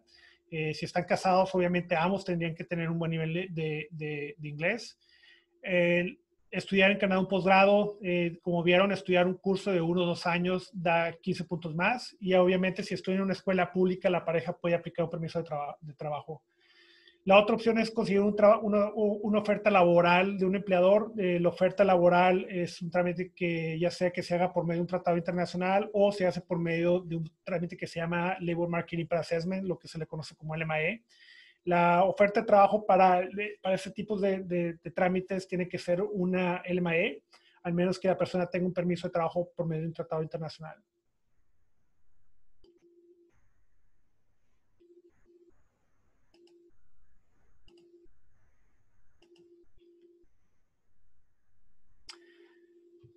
Si ya se tienen los 600 puntos, obviamente lo primero es hacer el examen inglés o francés. El examen francés en México lo hace el examen, la Alianza Francesa, el examen inglés como, como lo vieron lo hace el British Council. Eh, lo siguiente es hacer un perfil con inmigración, es lo que vamos a ver ahorita en unos minutos. Y lo segundo es obtener las cartas de referencias de trabajo en el extranjero.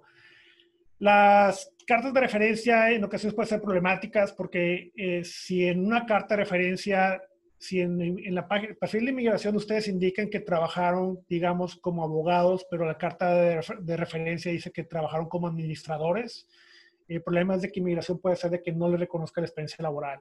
Por tanto, deben de asegurarse que tengan la, descripción de empleo correcta. Si no tienen la clasificación de empleo correcta, inmigración les va a rechazar el trámite, les dice, es que tú no tienes la experiencia laboral que me indicaste que tenías en, tu, en tu perfil. Por lo tanto, tienen que volver a hacer todo el trámite de nueva cuenta. Ahora, eh, lo que podría, lo que puedo sugerir ahorita es tomar un receso de unos tres minutos. Uh, los voy a poner aquí, voy a compartir para que se entretengan un poco en esos tres minutos. Es de eh, un video de Canadá para que tengan una idea de cómo es, cómo es aquí. Un momentito.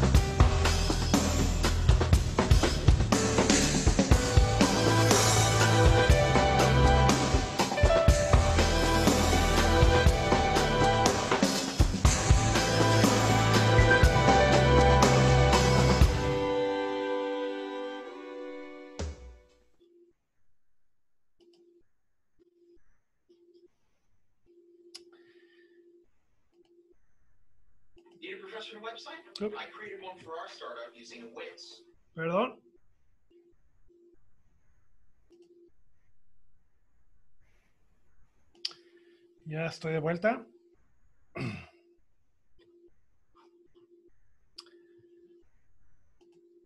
¿Alguna pregunta que tengan antes de seguir adelante? Eh, eh, podemos poner unos dos, tres minutos o unos cinco minutos de preguntas.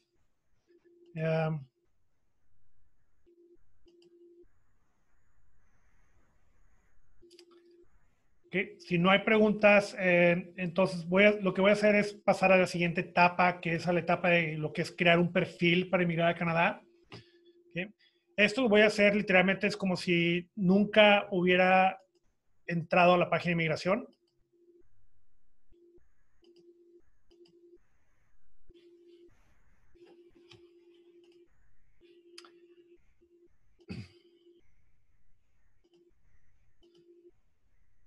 Que de nueva cuenta, esta es la página de migración. El- la página inicial, una persona ingresa en inglés, obviamente, eh, My Application. Ahora, esa es la parte donde ya eh, es, digamos, ya tienen el examen inglés, ya tienen eh, todos los requisitos para calificar, etcétera. ¿Cómo crear el perfil? Entran aquí, sign in. Esto es, esta manera para crear una cuenta con inmigración, esto es para personas que tienen cuentas bancarias en Canadá. Los bancos en los que tienen convenios con inmigración de que tu perfil para entrar a la página de, inmigración está vinculado con tu perfil para entrar a tu cuenta bancaria. En la práctica, nosotros lo que hacemos es crear una cuenta con, eh, el gobierno de Canadá. Obviamente, si la persona ya tiene su perfil, se ingresa los datos, tiene su cuenta, perdón, ingresa los datos. De lo contrario, eh, crea un nuevo perfil. Se acepta la información. Se crea un número de usuario. Voy a, usar- voy a utilizar un usuario ficticio de todos modos. Ah,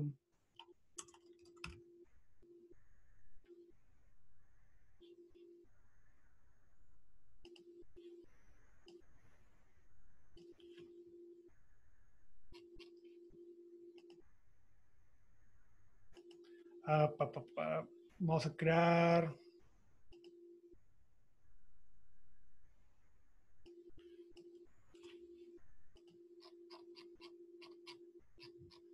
Password.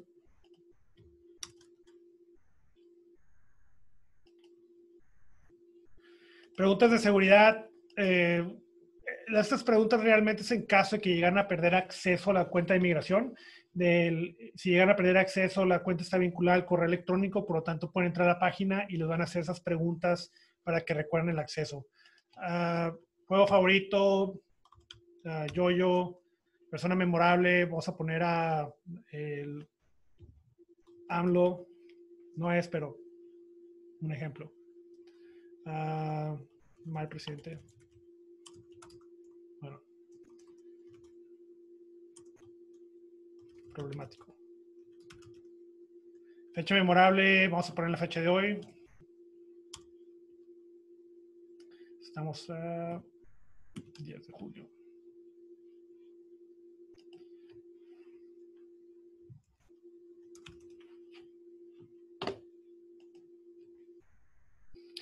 Una vez que ya crean la cuenta, obviamente, la siguiente parte es poner los datos y aceptar las condiciones, luego eh, indicar los nombres completos. Esta parte es importante porque si el nombre lo ponen mal aquí en esta parte, todos los trámites migratorios después les puede ocasionar problemas en el sentido de que inmigración no les, recono- no les reconozca el nombre.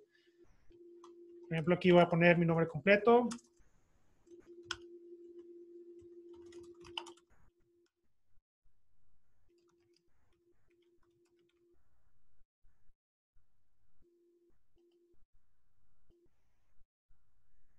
Preguntas de seguridad. Esas preguntas siempre recomiendo anotarlas porque si no se acuerdan, esas preguntas se les van a pedir cada vez que accesen a su perfil y cada vez que van a traspasar la información de, inmigración sobre sus trámites. Ah, digamos, nombre, ah, ciudad donde vivo. ah,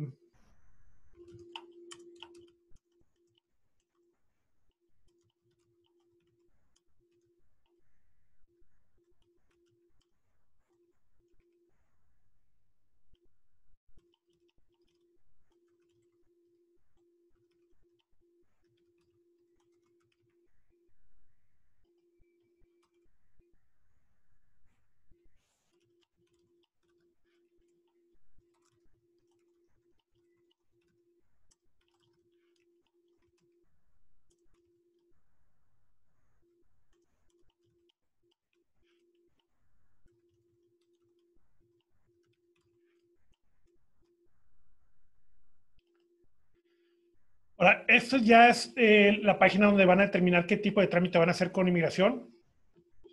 En el caso de refugiados es para aplicar al, a los servicios médicos, el transferirse a escuelas de estudiantes y es, por ejemplo, personas que quieren, que quieren demostrar si, si son ciudadanos o no. El mayor número de personas lo primero que tienen que hacer es aplicar para venir a Canadá. Eh, cuando hicimos el perfil anterior del cuestionario, el, creó un código. Ese código, por ejemplo, lo pueden copiar y poner en esta parte y automáticamente ya genera toda la información que habían puesto anteriormente. Pero vamos a suponer que no, que no tienen esa información disponible. Lo que tienen que hacer es indicar aquí qué tipo de trámite van a hacer. Por ejemplo, si una, una persona quiere emigrar a Canadá, lo que tiene que hacer es crear un perfil, perfil bajo el Express Entry. El, digamos que la persona va a vivir en British Columbia. Eh, idiomas oficiales tiene el IELTS, que es el que hacen en México. El examen se hizo 2019, uh, digamos, diciembre uh, 9. Resultado de inglés, vamos a suponer que soy muy listo, vamos a poner que tengo 9, 8, 5,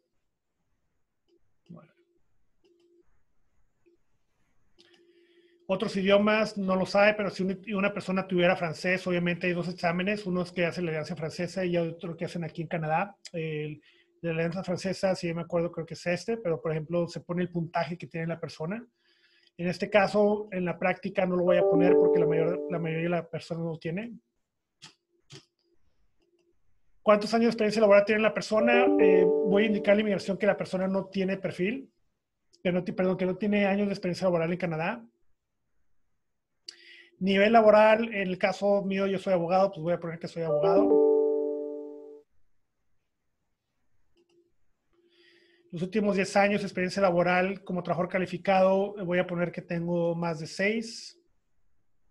Y el tipo de trabajo que tengo en Canadá, uh, no, eh, no, tengo experiencia laboral en ninguna de estas ocupaciones. ¿Cuánto dinero tengo? Voy a poner que tengo mucho, obviamente. Y voy a poner que tengo 5 personas, porque es, por ejemplo, en mi caso estoy casado con 3 hijos tengo una oferta de trabajo en Canadá, voy a poner que en mi caso voy a poner que no. Fecha de nacimiento. Me voy a hacer joven. Voy a poner que soy de unos... Sí, eso está bien. Tengo estudios en Canadá, voy a poner que no. Vamos a poner que tengo el ECA. El, tengo una licenciatura en, en México y eh, no he estudiado en Canadá. Mi estado civil, estoy casado. Mi esposa viene conmigo. Mi esposa no es canadiense. Mi esposa nunca ha estudiado aquí y nunca ha trabajado en Canadá. Tiene, digamos que ella tiene el examen de inglés. En una cuenta, si pone, por ejemplo, una fecha anterior de los dos años, aquí les puedo mostrar qué es lo que pasa. Bueno, aquí los aceptaron, pero generalmente no los aceptan, pero en fin.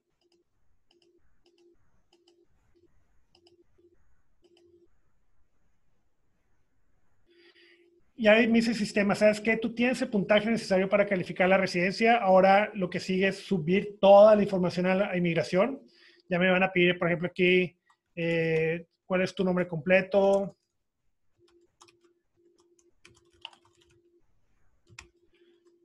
¿Cuál es tu sexo? Voy a, voy a poner, obviamente, ya viene la fecha de nacimiento. Mi estado civil es el casado.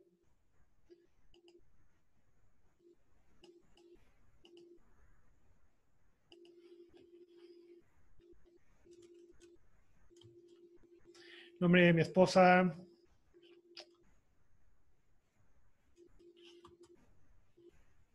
Vamos a poner a... ¿Quién pondremos?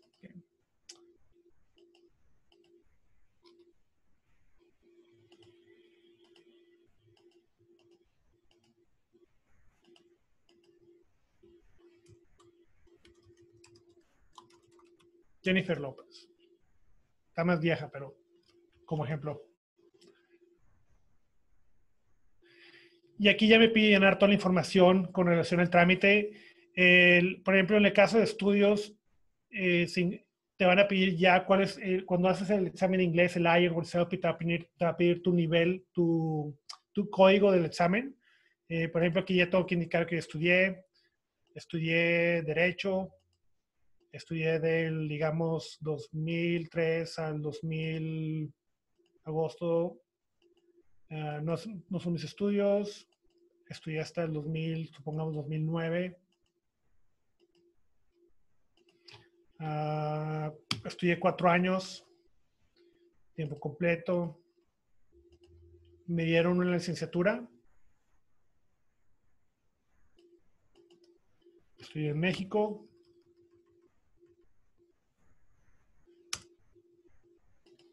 En-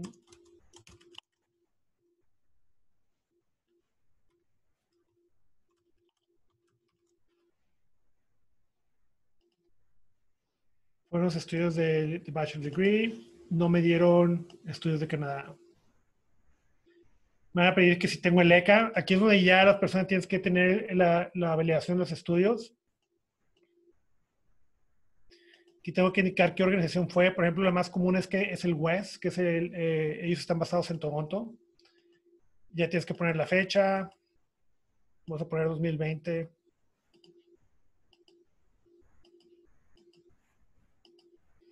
Y vamos a poner ah, ex eh, ejemplo.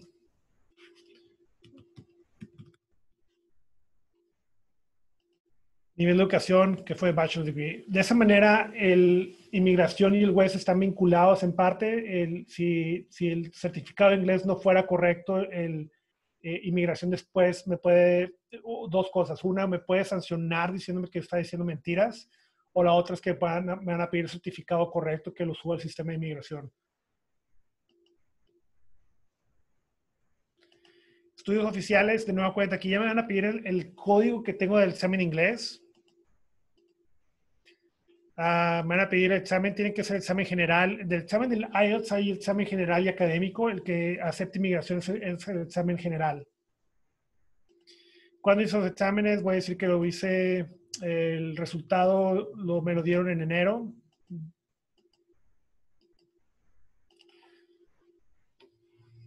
El certificado, voy a poner ejemplo, ejemplo, 1, 2, 3, 4, 5, 6, 7.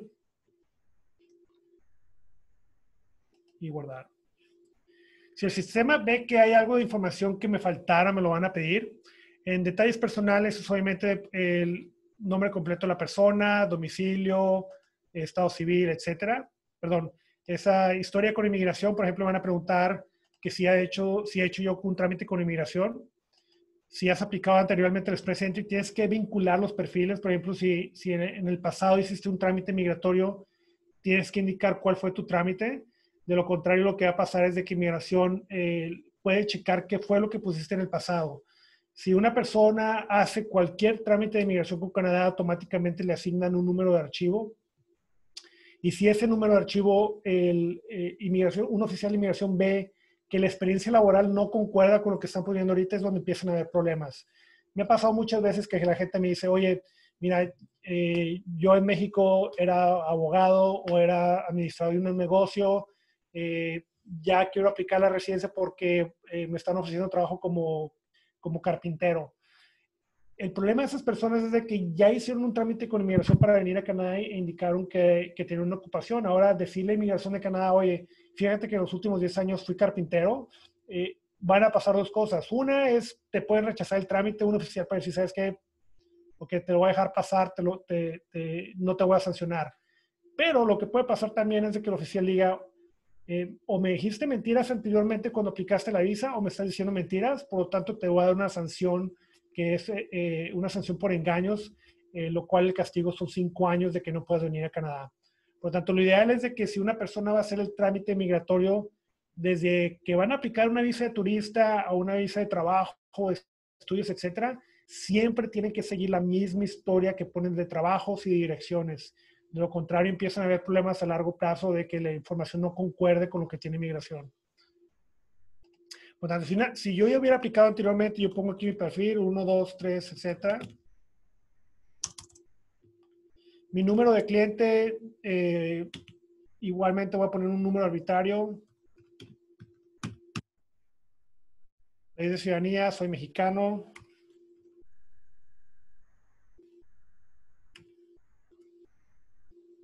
País de residencia, estoy en Canadá. Voy a poner, por ejemplo.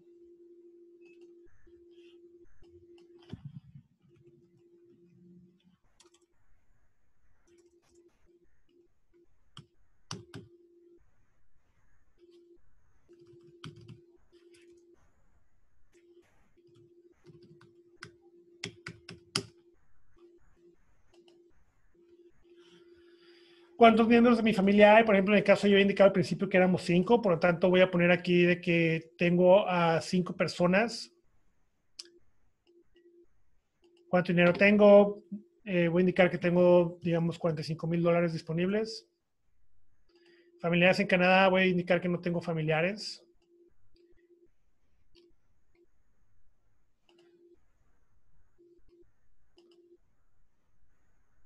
País de nacimiento,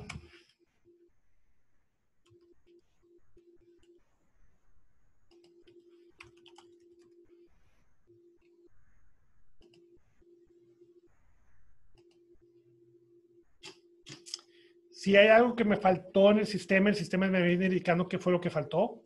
Por lo tanto, aquí el mismo sistema me va a decir, por ejemplo, oye, eh, aquí esta información de documentos, te faltó poner el pasaporte. ¿Ok? Voy a poner aquí pasaporte. ah, Mexa. 1, 2, 3, 4, 5, 6. México. Fecha de expedición 2017 a junio.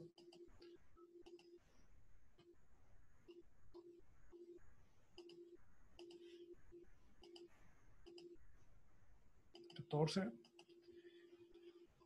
Si una persona tiene más de una nacionalidad, eh, tiene que indicar que hay otros documentos. Eso, por ejemplo, se hace aquí. El- se, ah, se puede agregar uno más dentro del mismo parte. Por ejemplo, tengo clientes que tienen ciudadanía, ciudad- ciudadanía española y mexicana o venezolanos con ciudadanía colombiana, eh, norteamericanos con ciudadanía de España, etcétera. Por lo tanto, lo recomendable es que si una persona tiene más de una ciudadanía es ponerlo en el sistema porque en el futuro si una persona quiere venir eh, y nos indica en el sistema, eh, puede tener problemas en la al ingresar a Canadá de que no concuerde la información que se indicó en un trámite.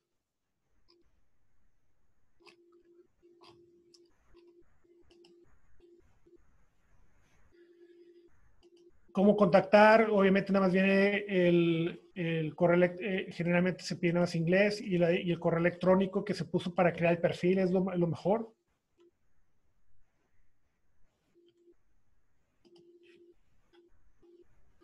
Ahora, esto lo pueden estar haciendo, eh, no es necesario que se sienten un día y lo hagan literalmente, se avienten todas las preguntas en un solo día. Eh, si cometieron alguna, eh, algún error al principio, de, por ejemplo, cuando están creando un cuestionario y cometió un error, eh, antes de ingresar todo el trámite es cuando es la, es la última oportunidad que tienen para hacerlo. Por lo tanto, pueden cambiar siempre las preguntas eh, que, pues, que, que indicaron al principio. Eh, si el cambio que, por ejemplo, si me ha pasado muy seguido que, por ejemplo, por, por, problemas de error, cometen un error en la fecha de nacimiento, pues lo pueden corregir y pueden actualizar la información. Ahora, la otra cuestión es de que el, pueden regresar al perfil normal y el sistema de inmigración te da más 60 días a partir de la fecha que creas el perfil para ingresarlo completamente. Esos 60 días no implica que en 60 días ya vas a tener la respuesta de inmigración. Por lo tanto, si en 60 días no, de, plano no califican, uh, eh, si, de, plano ven que el sistema no los permite seguir adelante porque no tienen un puntaje, el mismo sistema se va a decir, o en dentro de 60 días el sistema va a borrar el trámite que estaban haciendo.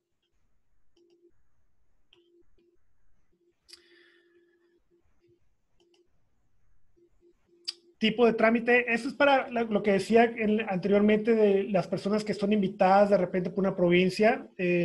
Una persona puede decir, ¿sabes qué? A mí me interesaría vivir en British Columbia y me interesaría vivir en el Yukon. Y en, ah, en New, New Brunswick. ¿ok? Esto lo que hace es de que las provincias, ustedes tienen que autorizar a las provincias a que puedan darles una invitación. Eh, aquí han sido nominados, se pone que no. Pero al contestar esto, les da la pro- pro- posibilidad de que si alguna provincia eh, les gusta el perfil de ustedes, pueden recibir la invitación por parte de la provincia para, para aplicar a, a la residencia. Eh, si una persona va a aplicar eh, a, a una nominación, eh, lo que recomiendo es nada más indicar la provincia donde van a estar viviendo para que de esa manera la provincia no vea que están tratando de emigrar a otras provincias. En caso de que tuvieran un representante, si, hay si no hay representante, obviamente nada más indiquen que no.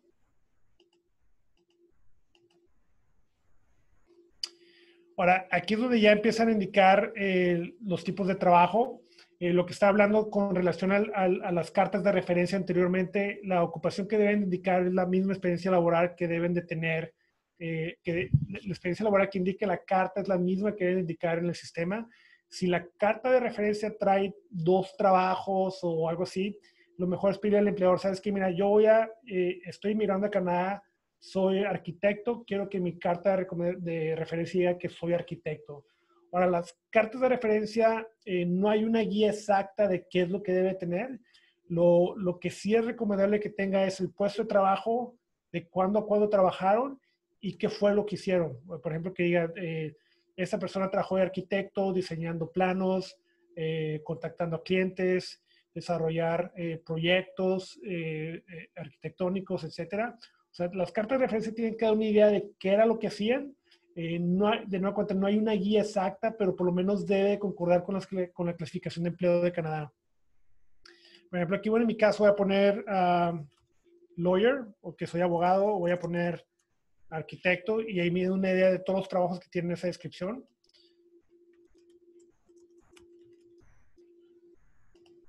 Ok. Y de cuándo a cuándo hice el trabajo, voy a indicar que lo hice desde el 2000, digamos, 2010 al 2000, ah, 2000 julio a...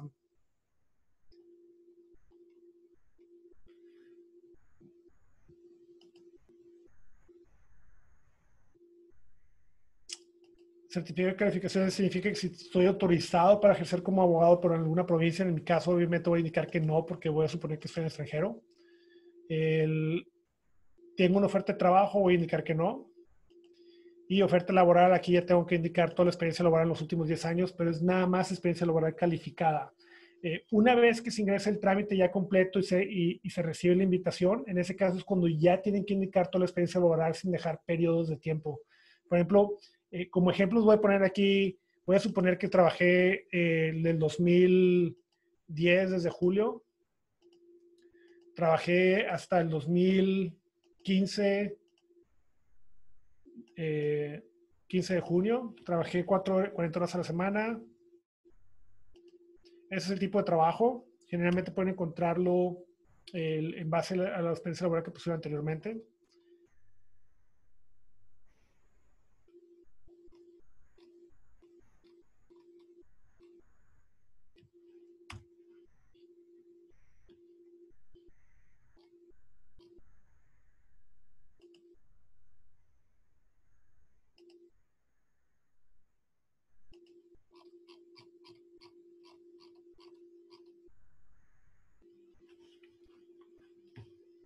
Trabajé como abogado.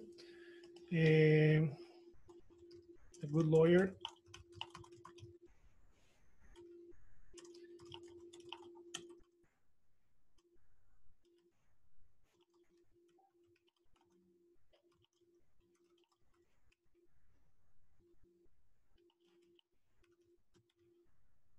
Trabajé en México.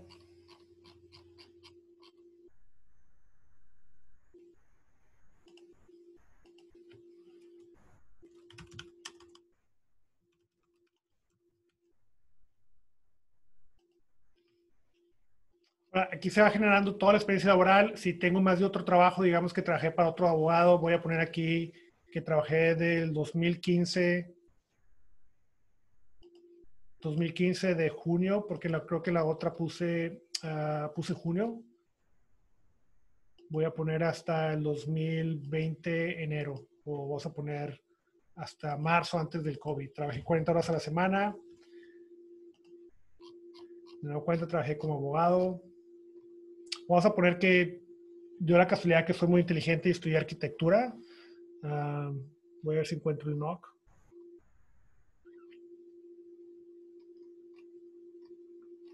Ah, bueno, me hice juez en México.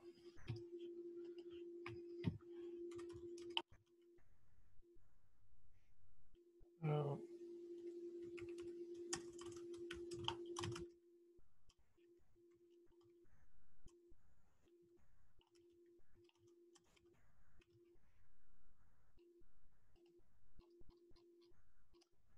En México, trabajé en México.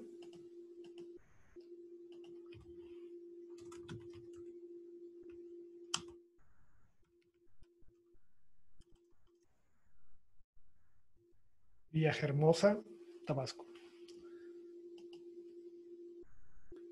Para que concuerde con la como habla el, el PG. Research, ah, yo honestamente siempre contesto que no, porque de repente llegan emails o cartas desde hace trámites que hice hace 5, 10 o 10 años que te, todavía te quieren contactar para hacer cuestiones de investigación, eh, de, perdón, de, de research. Y obviamente ya con relación a Jennifer López, que, era- que es mi esposa, pues obviamente ya les pongo los datos.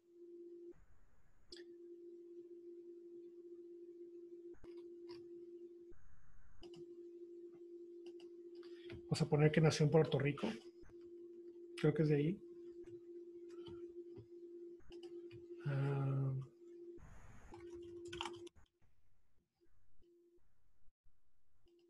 no es residente y no tiene familiares.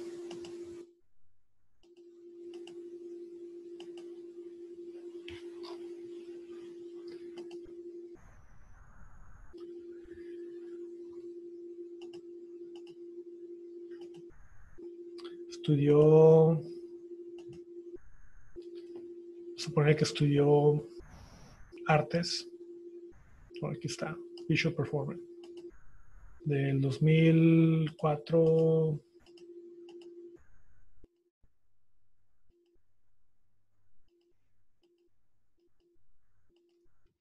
completó tres años porque bueno dos años el programa de dos años porque era muy burra por lo tanto le hizo dos años tiempo completo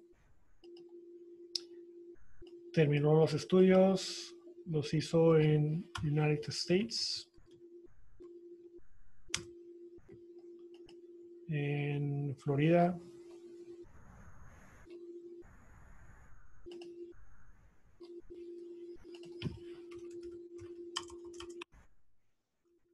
Trump Academy.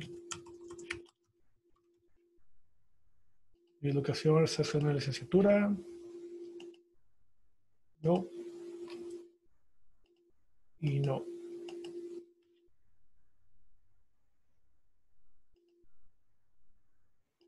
Menos habla bien inglés.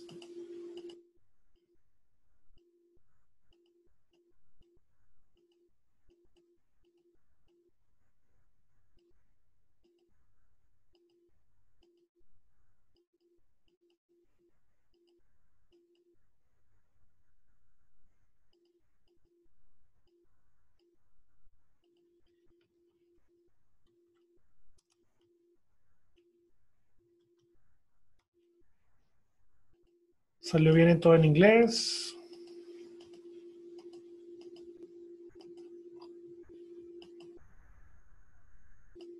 Pero no habla francés. Ahora, ya cuando está todo el trabajo, vamos a poner que no tiene trabajo porque la mantengo. No tiene trabajo. Ya está todo el programa, el perfil lleno. Lo siguiente es nada más da declarar que la información es verdadera. Ah, aquí vamos a indicar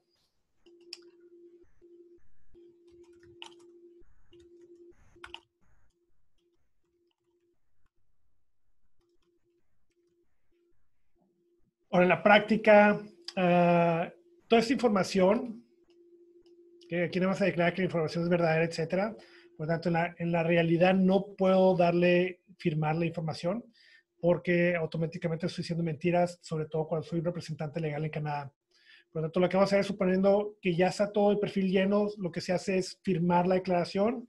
Eh, ya los siguientes pasos de, de, lo que pasa con inmigración es de que inmigración va a asignar eh, un número de archivo. Automáticamente, casi a las 24 horas, te van a decir, ¿sabes qué? Tu puntaje en el, en el ranking es de 380, 400, etcétera. El, en ocasiones el mismo sistema te dice, ¿sabes qué? No vas a recibir una invitación ahorita, tienes que crear un perfil en la página del gobierno de Canadá para buscar trabajo. Eh, si no crean el perfil para crear trabajo, en ocasiones el sistema te, te borra el perfil, el, pero lo, en la práctica generalmente el perfil es válido por todo un año.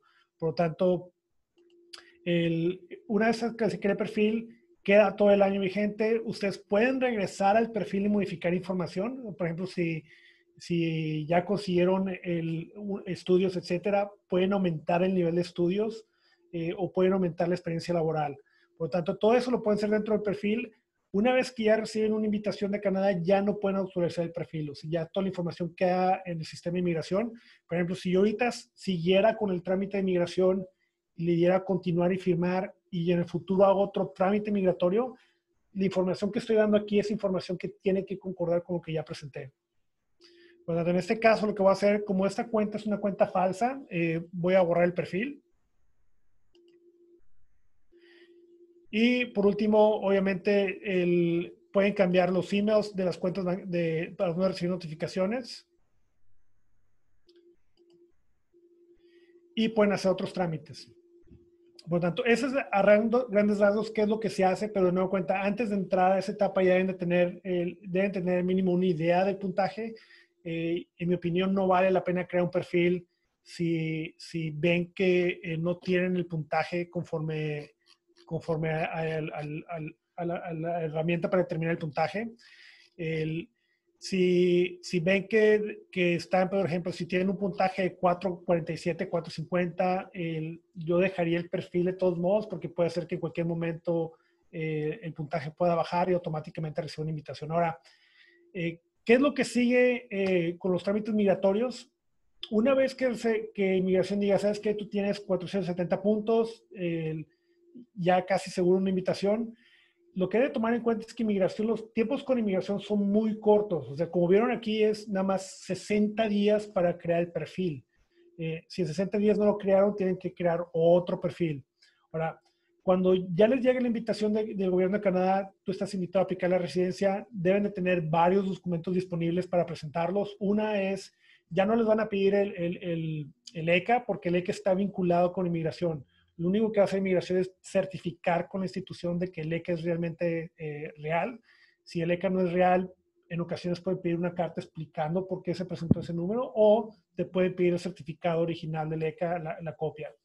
Con el examen de inglés no es necesario subir tu examen de inglés. El examen de inglés de nueva cuenta está vinculado con, el, con, el, con la institución que hace el examen. Por lo tanto, ellos checan directamente si el, si el resultado, si el si, si cometen un error de validación del código, por ejemplo, si colocan un número, les pueden pedir el original o una copia fotostática para verificar que el número sea correcto. Para recibir la invitación, eh, los documentos que les van a pedir es copia del pasaporte. Eh, yo siempre recomiendo que el pasaporte mínimo lo tengan por fácil unos eh, dos años de vigencia. Si el pasaporte no está vigente al momento que les vayan a aprobar el trámite, el pasaporte debe estar vigente mínimo por unos seis meses para que puedan activar la residencia. Si el pasaporte vence en, en un año y ya va a pasar un siete meses y todavía no les dan respuesta, inmigración les va a pedir otro pasaporte más. Por lo tanto, lo mejor es que ya tengan un pasaporte que sea vigente mínimo por unos, por, un, por unos dos años al momento de que ingresan el trámite. Actas de nacimiento se deben de presentar. Es un error muy común que veo con clientes de, de que eh, ingresan el trámite y no presentan el acta de nacimiento. Inmigración a fuerzas tiene que ver el acta de nacimiento. En ocasiones no aparece, eh, se anexa como un documento anexo al pasaporte. Por ejemplo, pongo el pasaporte en un PDF y luego anexo el, el, acta de nacimiento traducida. Eh, la traducción, lo único que pide inmigración es que sea un tra una traducción oficial. No tiene que ser un traductor en Canadá, puede ser un, un perito en México. Eh, los siguientes son los estudios.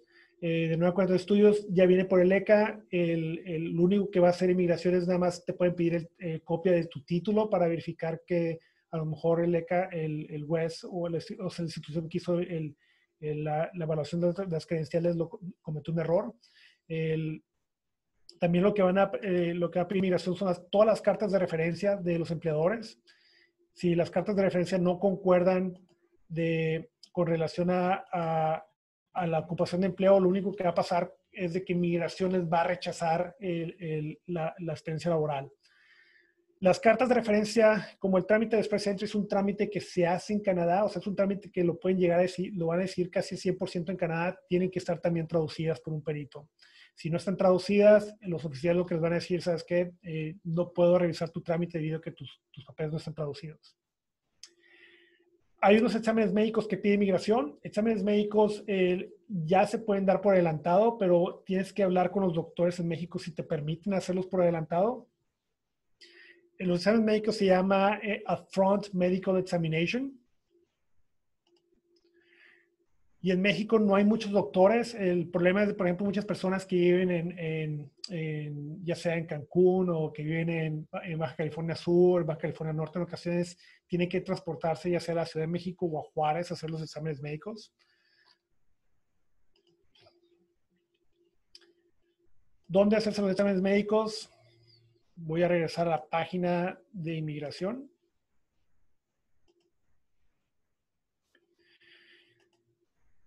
Lo que yo hago siempre igual, medical, es buscar la información en, Canadá, en la página de Canadá.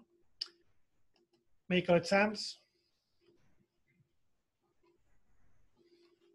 ¿Dónde hacer los exámenes médicos?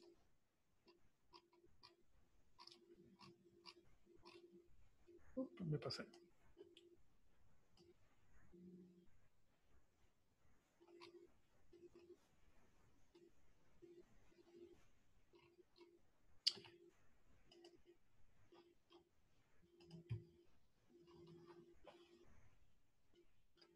Find a doctor. ¿okay? En México no hay muchos doctores y es un problema muy común para cualquier trámite de inmigración.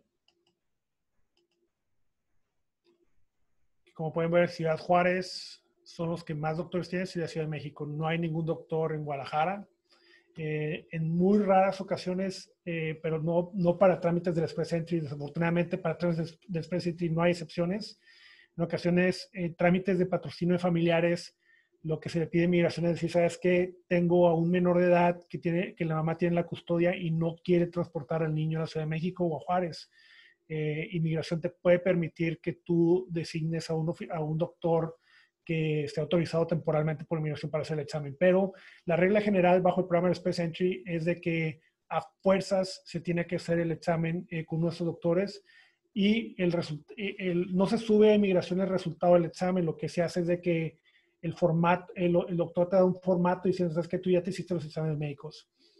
Ahora, lo siguiente que van a pedir en el trámite una, de nueva cuenta y una vez que ya se recibe la invitación son antecedentes penales. Antecedentes penales es muy problemático con las oficiales de inmigración. La razón por la cual es problemático es porque el, el sistema te pide que los presentes con, con anticipación. Y el problema es de que en México, si una persona está físicamente en México, la PGR eh, o la eh, creo que es FGR ahora, no te van a dar el, eh, no te van a dar los antecedentes al menos que los pidan autoridad. Por ejemplo, aquí es donde, cómo se hacen los exámenes médicos para México. Yo siempre lo que hago, por ejemplo, si una persona está fuera de Canadá, tengo que imprimir esta página y mostrársela al oficial porque aquí dice específicamente que los exámenes médicos no se tienen que presentar al momento de hacer el trámite. Me ha pasado dos, tres veces que se ingresa todo el perfil de Express Entry, se ingresa todos los documentos y luego te lo regresan, te dicen, sabes que tu trámite no estaba completo porque no te hiciste exámenes médicos, eh, perdón, no, no presentaste los antecedentes penales. En la página de inmigración de ellos mismos te dicen, sabes que no los tienes que presentar al momento de meter el trámite. En la práctica, si una persona está en Canadá físicamente, sí se pueden obtener los antecedentes penales si la persona obtiene una carta del Consulado de México. Eh, con la carta del Consulado de México, el consulado es el que está pidiendo los antecedentes penales, no es la persona normal. O sea, se va al consulado, le dice, ¿sabes qué? Eh, necesito yo obtener mis antecedentes penales para un trámite migratorio. Te dan una carta expedida por ellos diciéndole, a la, a- la Fiscalía General de la República, creo que se llama ahora, eh, esta persona necesita antecedentes penales, por favor, désenlos. Ya el- la- estando la se envía esa carta a un familiar en México con una carta poder simple que literalmente se baja de internet, no me dices es que yo le doy poder a mi madre o a mi hermano y ya se presenta a la fiscalía y en 10 días te dan los antecedentes penales. De nueva cuenta, si la persona está aquí, se tiene que traducir todo al inglés, por lo tanto, los antecedentes penales nada más son copias de lo que se envía.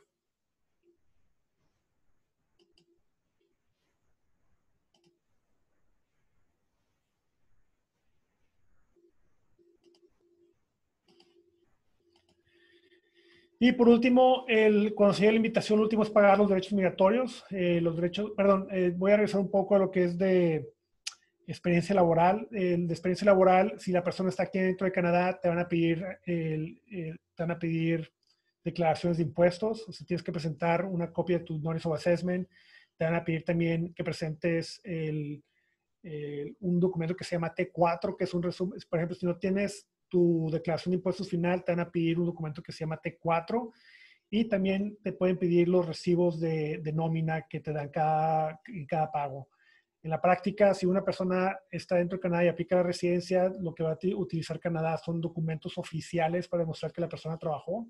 Por lo tanto, generalmente esos documentos oficiales es la declaración de impuestos, eh, un documento que se llama T4, que es el resumen fiscal de, de un año de las retenciones que hizo el empleador. Y la otra es, si ya pasó, eh, si ya pasó el periodo de impuestos, te van a, puedes presentar tus, un documento que se llama Pay que es un resumen de los pagos que se hicieron en el último periodo de trabajo. Ahora, se pagan los derechos migratorios y luego ya nada más es, ahora es cuestión de esperar a inmigración a que, que revisen el trámite.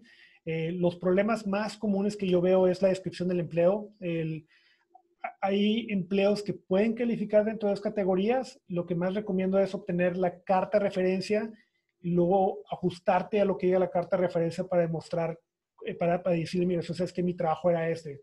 Por ejemplo, cuando vieron que yo estaba llenando el cuestionario y puse que yo era abogado y juez, por lo tanto, si la carta de referencia de la corte donde yo trabajaba dice que yo hacía funciones de, de, de un abogado, o sea, que, pero que no, yo no decidía casos, yo nada más iba a cobrar y me sentaba y me daban mis pagos.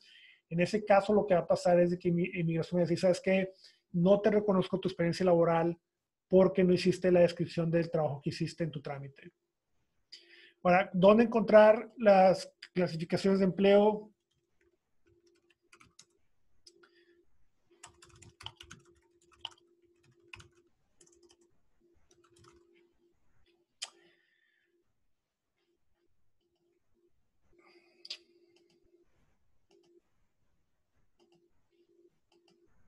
Siempre le pregunto a Google porque la página siempre cambia. Por tanto, lo que único que tienen que hacer es poner en Google la clasificación de empleo Can- Canadá. Y aquí te dicen Find Your NOC. Perdón, este no es. Este es migración. Esta es la página de National NO, NOC, esdc.gc.ca. Por lo tanto, si una persona, digamos, una persona es arquitecto, es nada más cuestión de poner architect. Ya te dice todas las ocupaciones que tiene arquitectura. Como pueden ver, hay varias ocupaciones que tienen la descripción de arquitectura. Hay personas que son arquitectos nada más, pero hay personas que son gerentes en lugares de arquitectura. La diferencia entre los dos, una es, yo sé que esta ocupación es como gerente por el cero, eh, y la clasificación donde dice dos es el tipo de industria. Por ejemplo, lo que hace Canadá es primero clasifica tipo de industrias y luego clasifica por medio de, de la ocupación. Si una persona, digamos, es, ah, quiere aplicar como ah, ingeniero civil,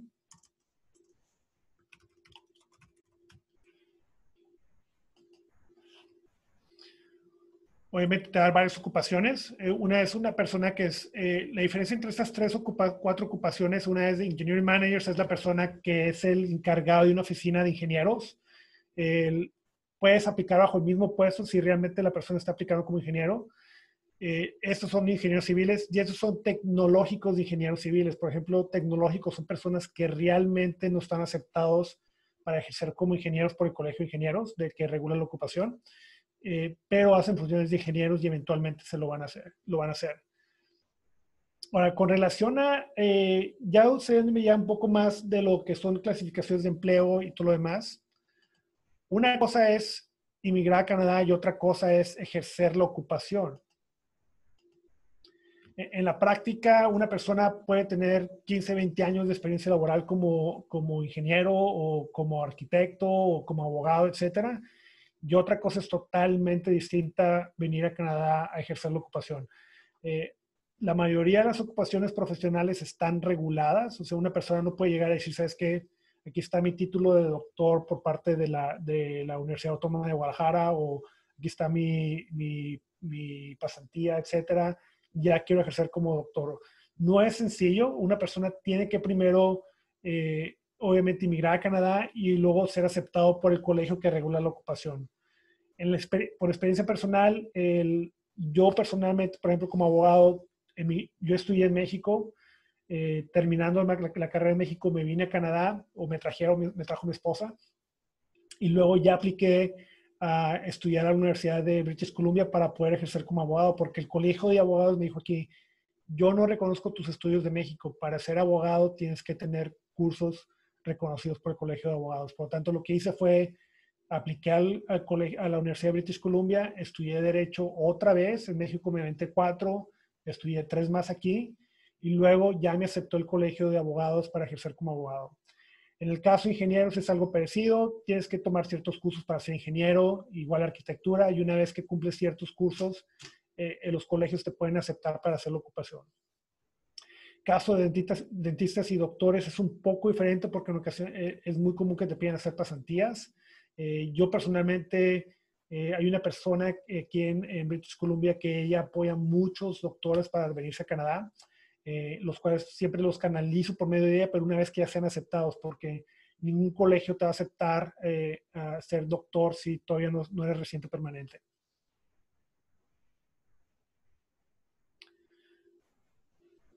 Ahora,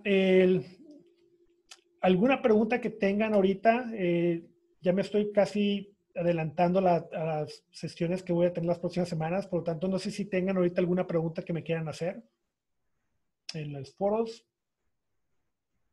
en el chat, perdón.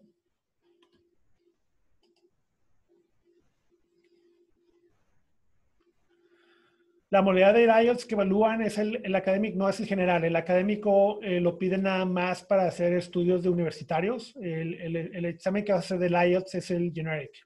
Eh, si llegaras a hacer un examen que se llama CELPIP, el, el que vas a hacer es el, el, general también, porque también tiene uno académico.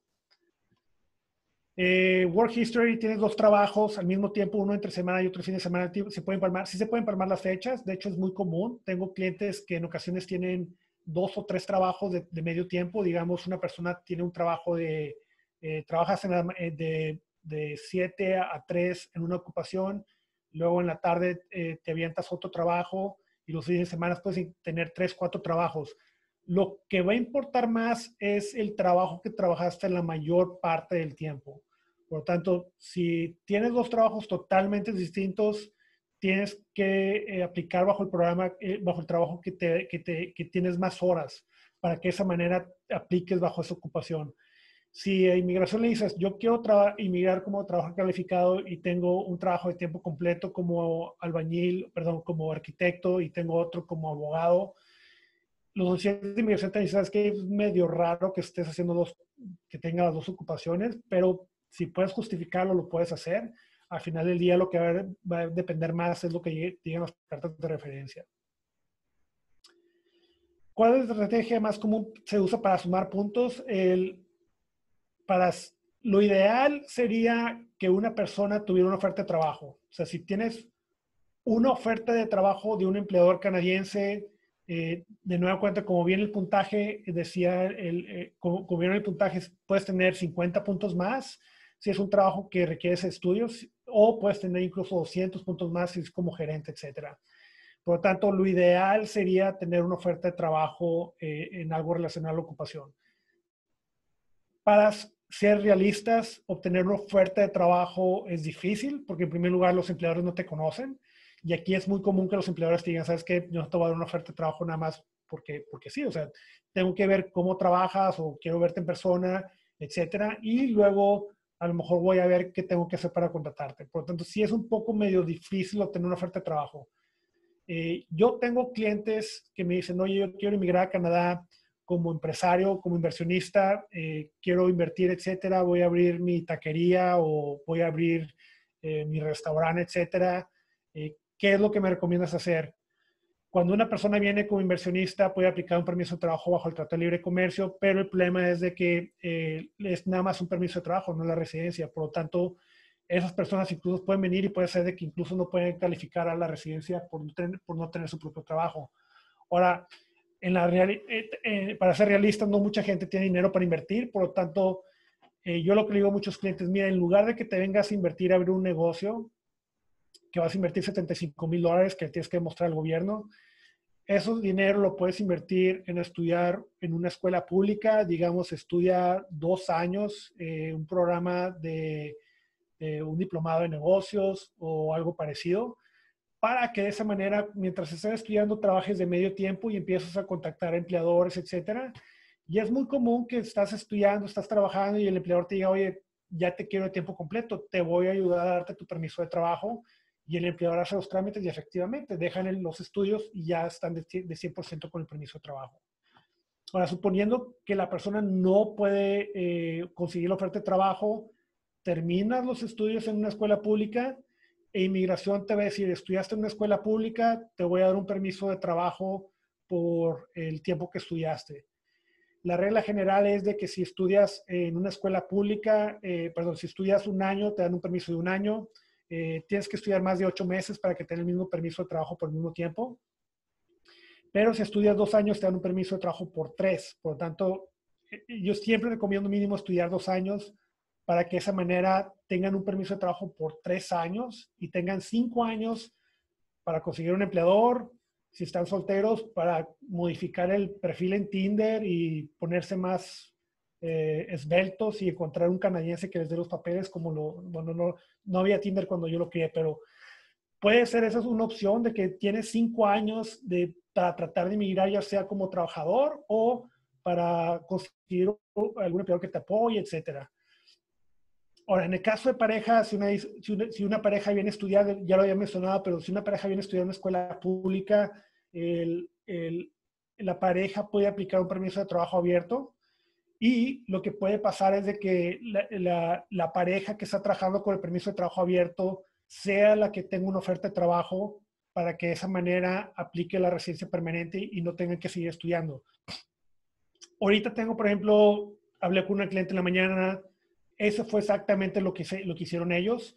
Ellos tenían un hotel en una ciudad en, cerca de la Ciudad de México, no quiero decir dónde, pero tienen, un hotel en la Ciudad de México, ellos quisieron venirse para Canadá, el hotel lo sigue operando el esposo, el esposo estaba estudiando aquí en una escuela, él iba, se iba literalmente, se iba un viernes, regresaba el lunes, estaba estudiando a tiempo completo, la esposa estaba trabajando en un hotel aquí, y la esposa recibió el apoyo del hotel para aplicar la residencia porque ella tenía permiso de trabajo abierto. Cuando recibió el apoyo de aplicar la residencia, se le aprobó todo el trámite, etcétera, y pedimos a la provincia, porque fue por medio de un programa provincial, que le dieran una carta de referencia, una carta para que aplicara un permiso de trabajo. Para lo que hicimos fue que se aplicó a la residencia, mandamos la solicitud de permiso de trabajo para cambiar el tipo de permiso de ella y lo que pasó, lo que ya pasó ahorita es de que ella tiene permiso de trabajo fijado para el empleador y su esposo tiene un permiso de trabajo abierto, pero al mismo tiempo ya están en el trámite de residencia y ya no está estudiando él. De esa manera se ahorraron tres años de estudios, porque él, iba a estudiar una licenciatura de, cuatro años, por lo tanto, se ahorraron los tres años que él iba a pagar de estudios, nada más pagaron literalmente el equivalente a un año. Por lo tanto, esa es, la manera de subir el puntaje. Eh, tener la oferta de trabajo de un empleador o ya meterse al área de que es de, de, nominaciones provinciales o conseguir de plano, eh, o la otra opción definitivamente, si viene uno a estudiar, está estudiando en una escuela pública, viene con la pareja y están encerrados por tres meses por el COVID y encuentra una pareja nueva, pues deja la pareja, no es cierto, porque pues, puede emigrar uno, eh, lo cual también ya me ha pasado ahorita, tengo ahorita cuatro parejas que ya de plano dijeron, es que no nos aguantamos, nos vamos a separar, y, ya tengo una clienta que ya encontró pareja que le da los papeles, pero en fin. Por lo tanto, el, entre, si, si, si el trabajo no es una opción, eh, yo recomiendo siempre estudios y no, y no es por broma, pero tengo muchos clientes que, muchos clientes que me dicen, oye, yo quiero invertir 150 mil dólares en un negocio. Y les digo, oye, eh, perfecto, pero mira, invertir en un negocio implica el riesgo de que el negocio no te va a funcionar. Entonces, en un lugar no conoces el mercado laboral aquí, ni conoces el mercado, ni, ni conoces cómo se maneja tu industria, etcétera. Vente a estudiar un año o dos años, o mete a tu esposa a estudiar. Tú obtén tu permiso de trabajo abierto y empieza a explorar. Una vez que me digas, ¿sabes qué? Ya, si quieres invertir, pues invierte. De lo contrario, financiar la escuela, vas a conseguir empleo, etcétera, y de esa manera te vas por una vía más segura en el sentido de que no vas a perder tu inversión. Y la otra, ya, ya tienes por lo menos un plan de estar aquí en Canadá tres, cuatro, cinco años para tratar de emigrar legalmente. Tengo, por ejemplo, tengo varios ejemplos. Ahorita tengo unos clientes, de hecho, de Guadalajara, que él es un empresario muy exitoso allá, pero él dijo, ¿sabes qué? Estoy harto, vendió todas sus inversiones, trajo una cantidad significante y yo le recomendé que se fueran por la vía de estudios. Él quería abrir un negocio, es que vete por la vía de estudios. La esposa está estudiando ahorita en una escuela, eh, es una escuela privada que te da una licenciatura, lo cual está autorizado por inmigración.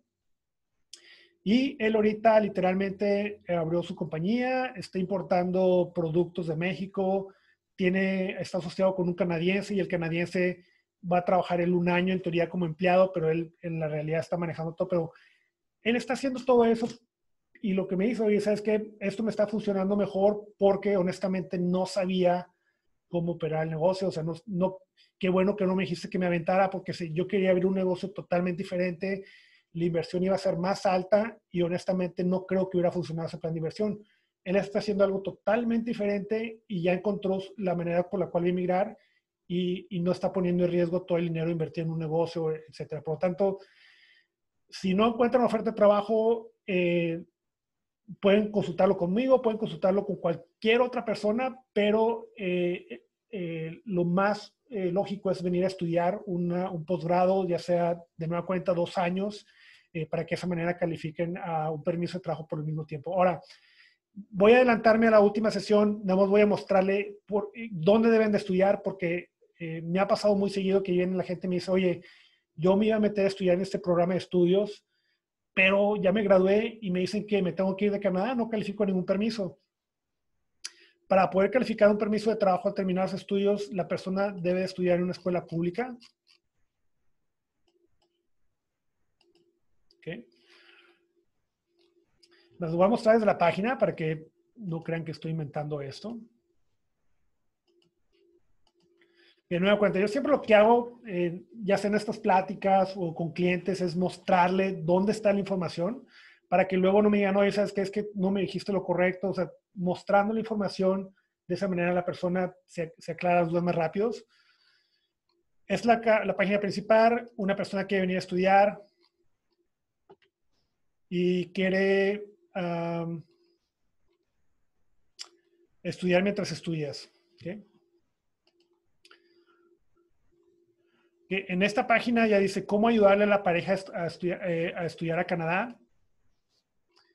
Para que una pareja, si una pareja viene, viene juntos, para que la otra pueda aplicar el permiso de trabajo abierto, la persona, el que va a estudiar debe tener una escuela pública y debe ser estudiante de tiempo completo en una escuela pública en Quebec todas las escuelas privadas califican, eh, pero en la práctica estudiar en Quebec es medio problemático porque casi el 70-80% de las clases son en francés.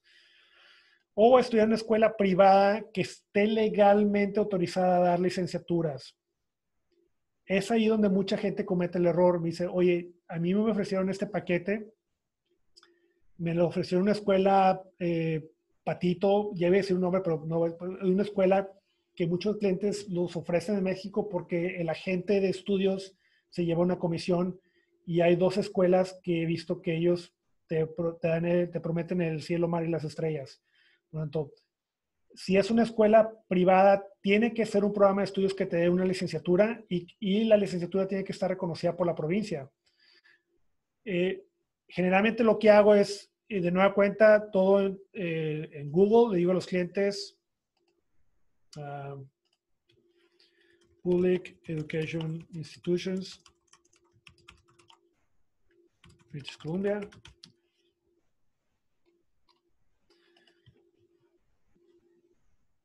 Como son una institución pública, estas son todas las escuelas públicas que hay aquí en la provincia donde yo vivo. Y eh, estas son escuelas privadas que están autorizadas a dar licenciaturas. Si una persona me dice, oye, quiero saber si mi escuela califica o no para el postgrad, para permiso de trabajo para mi pareja, es lo primero que voy a hacer. Ya, obviamente ya me sé varios nombres de escuelas, pero de repente agregan una o dos escuelas más, un nuevo programa de estudios, etcétera. Por lo tanto, en caso de duda, siempre checo la página de la provincia para, para ver qué escuelas están autorizadas a dar licenciaturas. Y luego el, el programa de estudios tiene que dar licenciatura. Por lo tanto, si, es una, si, la persona tiene permiso de estudios, escuela pública o una privada que está autorizada a dar licenciaturas, la pareja aplica el permiso de trabajo abierto. Y los hijos pueden estudiar. Por lo tanto, si los hijos son menores de, de si los hijos pueden estudiar de manera gratuita hasta la preparatoria, ya después de la preparatoria ellos tienen que hacer su propio trámite de permiso de estudios, pero para fines de migración, de migración todavía son dependientes. Por ejemplo, en el caso de la persona que comentaba de, de, que iba a venir con inversionista, él literalmente tiene cuatro hijos, se trajo los cuatro hijos de estar estudiando. La hija más grande ya va a la universidad, por lo tanto, a ella ya no puede aplicar, no puede ir a estudiar de manera gratuita, tiene que aplicar como estudiante internacional, por lo tanto, tenemos que hacer un trámite totalmente diferente para agregarle ahí al trámite, para hacer su trámite de permiso de estudios. Eh, pero para fines de la residencia permanente, mientras el papá aplique la residencia antes de que ella cumpla 22 años, ella va a entrar como dependiente de él. Si ella cumple 22 años mientras el trámite está en proceso, no hay problema. Lo que más importa es de que el trámite literalmente se ingrese totalmente antes de que ella cumpla los 22 años para que siga, siga siendo considerada dependiente. Si, si ya tiene más de 22 años, desafortunadamente ya no es dependiente y obviamente todo el puntaje que les mostré se aplica para esa persona. O sea, ella tendría que estudiar y tendría que trabajar. Eh, me ha tocado, por ejemplo, de que eh, se pasan los 22 años y ya tienen 23, 24 y de plano no encuentran trabajo y me dicen los papás, oye, ¿qué hacemos? Etcétera. Eh, ya es cuando les digo, ¿sabes qué? Vayan con alguien que le enseñe más de otras aplicaciones que no sea Tinder. Por ejemplo, poner un anuncio en Craigslist o en, no sé, en Marketplace o algo así en Facebook. Eso digo pero el, puede ser problemático que una persona llegue aquí y obviamente ya tiene los hijos y no califican y, el papá ya tenga la residencia y la hija batallando, el hijo batallando es cuando empieza, se empiezan a hacer las cosas problemáticas. O al terminar los estudios, eh, para aplicar el permiso de, de, estudios al terminar la escuela, estas son las reglas.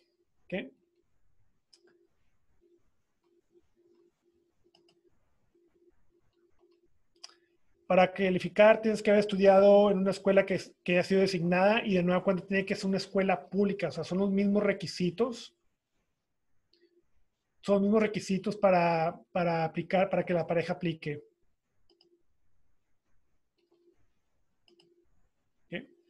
Estudiar en una escuela, estudiar a tiempo completo y haberse graduado en una escuela pública o una escuela privada que dé licenciaturas. Por lo tanto, el, eh, yo literalmente la semana pasada hice dos trámites de personas que nada más están aplicando un permiso de estudios que les dije al cliente, una vez que termines tu programa de estudios, estás consciente que tienes que regresar, o sea, no vas a aplicar el postgraduate, si no hay problema. Tengo otras personas que me dicen, es que, mira, yo quiero aplicar el permiso de estudios porque eh, tengo una pareja canadiense, pero eh, pensamos casarnos dentro de tres, cuatro, cinco meses, pero estoy embarazada y quiero tener cobertura médica. O sea, están aplicando permiso de estudios literalmente para tener la cobertura médica. Por lo tanto, el, el plan que tienen la, mayoría de las parejas es, eh, yo voy a estudiar, tú trabajas y por medio del que trabaja es, aplicamos a la residencia. Me ha tocado parejas que vienen y, literalmente la pareja, como el que va a tener permiso de trabajo abierto, ni siquiera habla inglés. Eh, en ocasiones tienen que esperarse hasta que termine la pareja los estudios aplique el permiso de trabajo y luego por medio de esa persona apliquen a la residencia debido al puntaje que les expliqué anteriormente.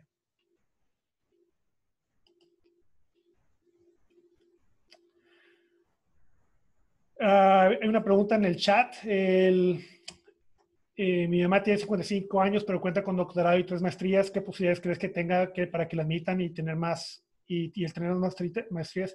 Literalmente con el doctorado ya tiene lo máximo en el puntaje de inglés. Eh, por ejemplo, el, el, problema va a ser la edad en el caso de ella. Eh, como ya no tiene puntos en edad, tiene que recuperar esos puntos y la única manera de recuperar los puntos para recibir una invitación va a ser ya sea estudiando más maestrías en Canadá eh, o conseguir una oferta de trabajo en algo relacionado a lo suyo.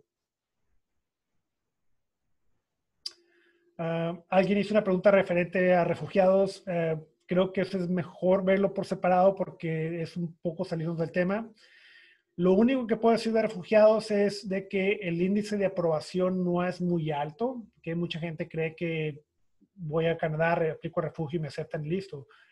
El índice México para fines de inmigración se considera como un país seguro, aunque realmente en la realidad sabemos que no lo es. Eh, por lo tanto, es muy difícil tener un caso de refugio aprobado. Eh, yo tengo una clienta que eh, tratamos de tomar otra vía, que era cuestiones humanitarias y compasión, se lo rechazaron, terminó aplicando el refugio, pero realmente es un caso muy fuerte de México y aún así se lo acaban de rechazar hace dos semanas con otro, yo lo referí con otro abogado porque como mencioné, eh, yo no tengo el tiempo de ir a las audiencias para tomar casos de refugio. Por lo tanto, casos de refugio sí son muy difíciles eh, eh, para demostrar. En primer lugar, es casi imposible que te acepten como refugiado estando en México, o sea, tienes que estar en Canadá físicamente. y segundo lugar, lo que se hace en Canadá, los tiempos de respuesta de los casos de refugio son muy rápidos. y lo otro es de que para fines de inmigración México se considera como un país seguro, por lo tanto tienes que demostrar que no tuviste otra alternativa para aplicar refugio en México la experiencia laboral en Canadá de medio tiempo a la par de los estudios cuenta, no cuenta. Eh, experiencia laboral mientras estudias no cuenta para fines de migración. O sea, la única experiencia para el Express Entry es experiencia con permiso de trabajo. Ahora, la única experiencia que sí cuenta, si tienes un permiso de estudios, eh, puedes trabajar las 20 horas. De nueva cuenta, esa, esa experiencia no cuenta, pero puedes también trabajar de tiempo completo durante periodos de recesos esa experiencia laboral, como la estás haciendo en base a un permiso de estudios, no te va a permitir aplicar, eh, eh, o sea, no, no, no, cuenta para la residencia permanente. La única experiencia laboral que cuenta es la experiencia laboral que, que, tienes a partir de que terminas tu programa de estudios. Cuando terminas tu, tu, programa de estudios, aplicas a tu permiso de trabajo. Legalmente las regulaciones te permiten seguir, te permiten trabajar ahora de tiempo completo porque ya terminaste los estudios. Y esa experiencia laboral que tienes a partir de que dejas los estudios, hasta que tengas el año de que va a contar para, a fines de la residencia. Hay programas de estudios que te venden eh, muy seguidos. De hecho, es de los dos programas que hice, de las dos solicitudes que, que le dije a los clientes que no califican el postgraduate. Es, hay programas que se llaman de co-op, que eh, una parte del programa de estudios es estudiar, terminas el programa de estudios y luego tienes que trabajar, hacer prácticas para demostrar que aprendiste lo que, eh, que aprendiste bien lo que te enseñaron. La experiencia laboral con los permisos de COAP no cuenta para la residencia permanente y tampoco la toma en cuenta de las provincias. Lo único que te va a ayudar esa experiencia laboral es para ponerla en tu currículum.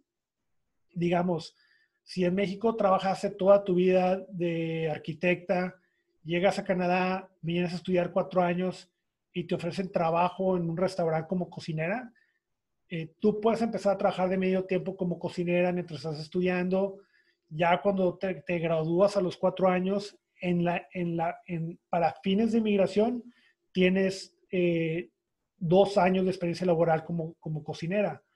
Pero la clasificación de empleo te pide que tengas tres años de experiencia laboral. Por lo tanto, si trabajas otro año más como cocinera al terminar los estudios, para fines de tu currículum y para fines de experiencia laboral, tienes tres años de experiencia como cocinera. Por lo tanto, inmigración no te puede llegar y decir, ¿sabes qué? Los cocineros requieren tres años de experiencia laboral. Tú ya lo demostraste porque estuviste trabajando en medio tiempo. Por lo tanto, la experiencia laboral mientras estudias nada más cuenta para hacer currículum, o sea, para demostrar que tienes un poco más de experiencia en la ocupación que, que a lo mejor aplicas después.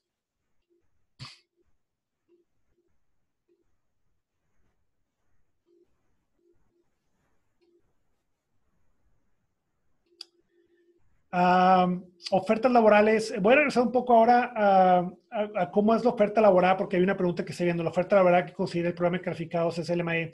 Le había dicho que sí es el MAE, pero hay excepciones a, la oferta de trabajo.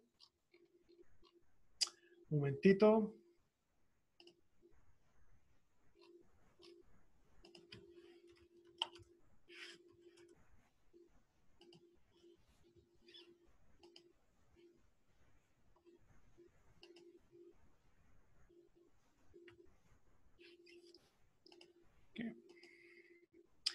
Ah, la oferta de trabajo, el, para tener los más puntos en la experiencia laboral en ocasiones no es necesario tener una nueva LMAE. Eh, las excepciones son haber trabajado a tiempo completo y estar excepto bajo un programa, ah, un programa internacional. Por ejemplo, eh, hay un nuevo tratado que es el, no es el, no es el, el LUSMA que, el, que acaban de firmar, es el tratado del, del Trans-Pacific Partnership, que es un tratado entre Canadá, eh, Vietnam, Australia, Singapur, uh, Perú, Chile y México. A lo mejor me se me olvidó un país. Bajo ese nuevo tratado ya abre más ocupaciones que el Tratado de Libre Comercio. Por lo tanto, mucha, tengo muchos clientes que se están viniendo bajo ese tratado porque es, mucho más rápido que hacer una, una ELMAE. El, bajo, bajo, ese, eh, eh, bajo esos tratados, la oferta laboral, el permiso laboral que se tiene bajo esos tratados cuenta como la oferta de trabajo para darte más puntos para el, para el Express Entry. Por lo tanto, no es necesario hacer un trámite eh, que se llama LMAE, es nada más el hecho de tener un permiso de trabajo por medio de un tratado internacional te ayuda a aplicar a, a, a tener los, los 50 o 200 puntos de oferta de trabajo.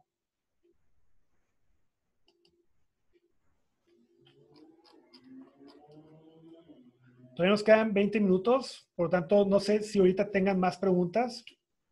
El... Ricardo, tú no tienes ninguna pregunta. eh, es que ya me estoy adelantando mucho. Okay. Sí, de hecho hay, hay dos manos levantadas, Manuel Gómez y Gaby González, eh, que creo que quieren abrir micrófono. Eh, adelante. Autorices que pregunten. No, adelante, claro que sí. Creo que por orden creo que fue primero Gaby y después Manuel, pero no estoy seguro. Porque no ok. Aquí. aquí presente. Adelante. Luis, muchas gracias. Eh, oye, no me quedó tan claro. Bueno, son dos preguntas. Eh, si yo, si ya me aceptan en alguna universidad pública o privada, ¿no puedo empezar entonces desde ese momento mi trámite? ¿Tendría que esperar a terminarlo y ya luego solicitarlo? Sobre todo por la, la presión de la edad, de que cuando acabe, o sea, ya estaría como... Bueno, el, el, para fines de inmigración tú puedes tener dos trámites al mismo tiempo. Tú puedes tener tu permiso de estudios, o sea, puedes tener un permiso de estudios. Eso no te limita a tener tu, tu trámite del Express Entry. Por lo tanto, ah, okay, lo, único, okay. lo, lo, único, que sí es de que si necesitas terminar los estudios para subir tu puntaje, pues obviamente eh, sí, puede, sí te puede afectar el hecho de que no hayas todavía terminado el programa de estudios.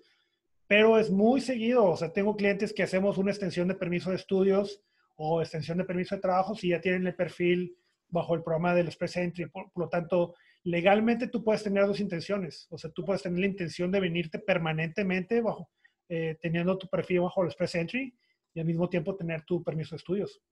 Perfecto. Oye, no tiene nada que ver, o sea, no existe un criterio de ella estudió en una universidad pública o en una universidad privada. ¿Existe algún criterio que digan a favorecer, vamos a favorecer este, esta persona o no? No, no, no. Lo que más importa es el puntaje, o sea, esos son los puntos. Okay. Eh, si, si, si, estudias una licenciatura en una escuela privada y, y, estudias en una licenciatura en una escuela pública, para fines de migración es el mismo puntaje. Perfecto. Muy bien. Gracias. Eh, Manuel.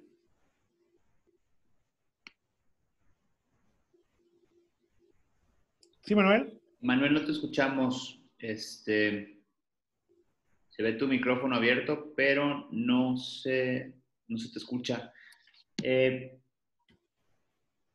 yo, referente a lo anterior, creo que, a ver, eh, si eliges una u otra, ah, creo que por ahí Manuel ya se ve.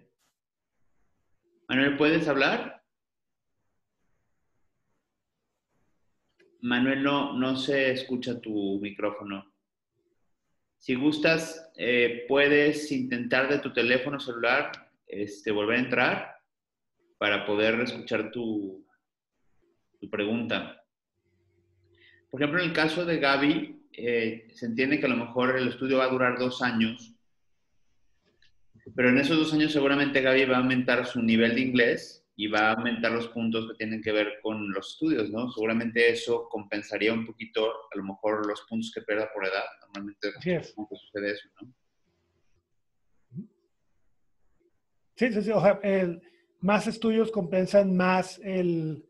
Um, compensan los puntos que pierdas por edad. Por ejemplo, lo que estaba mostrando en el perfil, por ejemplo, puede ser de que no terminas los estudios, pero tienes el año de experiencia laboral, automáticamente vas a perder a lo mejor 10 puntos por edad, pero vas a recuperar 70, 80 puntos por, por experiencia laboral en Canadá. De acuerdo. Eh, otra pregunta. ¿Alguien tiene otra pregunta? ¿Alguien tiene alguna otra pregunta que les gustaría hacer antes de, de despedirnos por el día de hoy? Eh, Yo puedo aprovechar para hacer la tercera. Adelante. Ya, nada más. Entonces, si soy, o sea, si soy estudiante y hablar inglés, como dijo Ricardo ahorita, ¿qué otra recomendación me darías para subir mi puntaje, además de los dos? O ya, son como, a ver si eres estudiante y hablas bien inglés, ya, perfecto, con eso. Bueno, obviamente, si, si aprendieras francés, puede ser una opción, o sea, eh, eh, incrementar tu nivel de, francés, o puede ser también de, de o o sea, el problema es de que mientras estás estudiando realmente no puedes ganar más puntos por experiencia laboral, por lo tanto, la única opción es subir tu francés, lo cual legalmente puedes estudiar sin necesidad de tener un nuevo permiso, eh, subir tu francés para que de esa manera aumentes tu puntaje debido a que tienes el segundo idioma. Eh, de ahí en fuera, nosotros, la otra manera de subir puntos va a ser a fuerzas de experiencia laboral. Ok. Eh, Manu- ah, creo que ah, ganar puntos por estudios tiene que ser estudiando un bachelor's o funciona un certificado de un año. Eh, como lo había mencionado, voy a regresar un poco a eso para que de esa manera no quede, eh, no quede ninguna duda.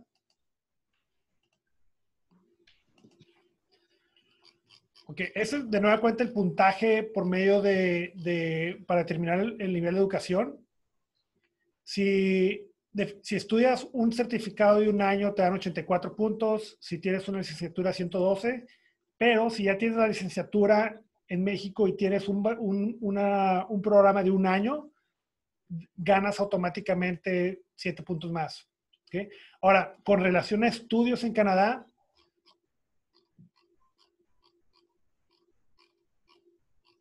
estudios en Canadá, si estudias un curso de un año o dos, te dan el mismo puntaje.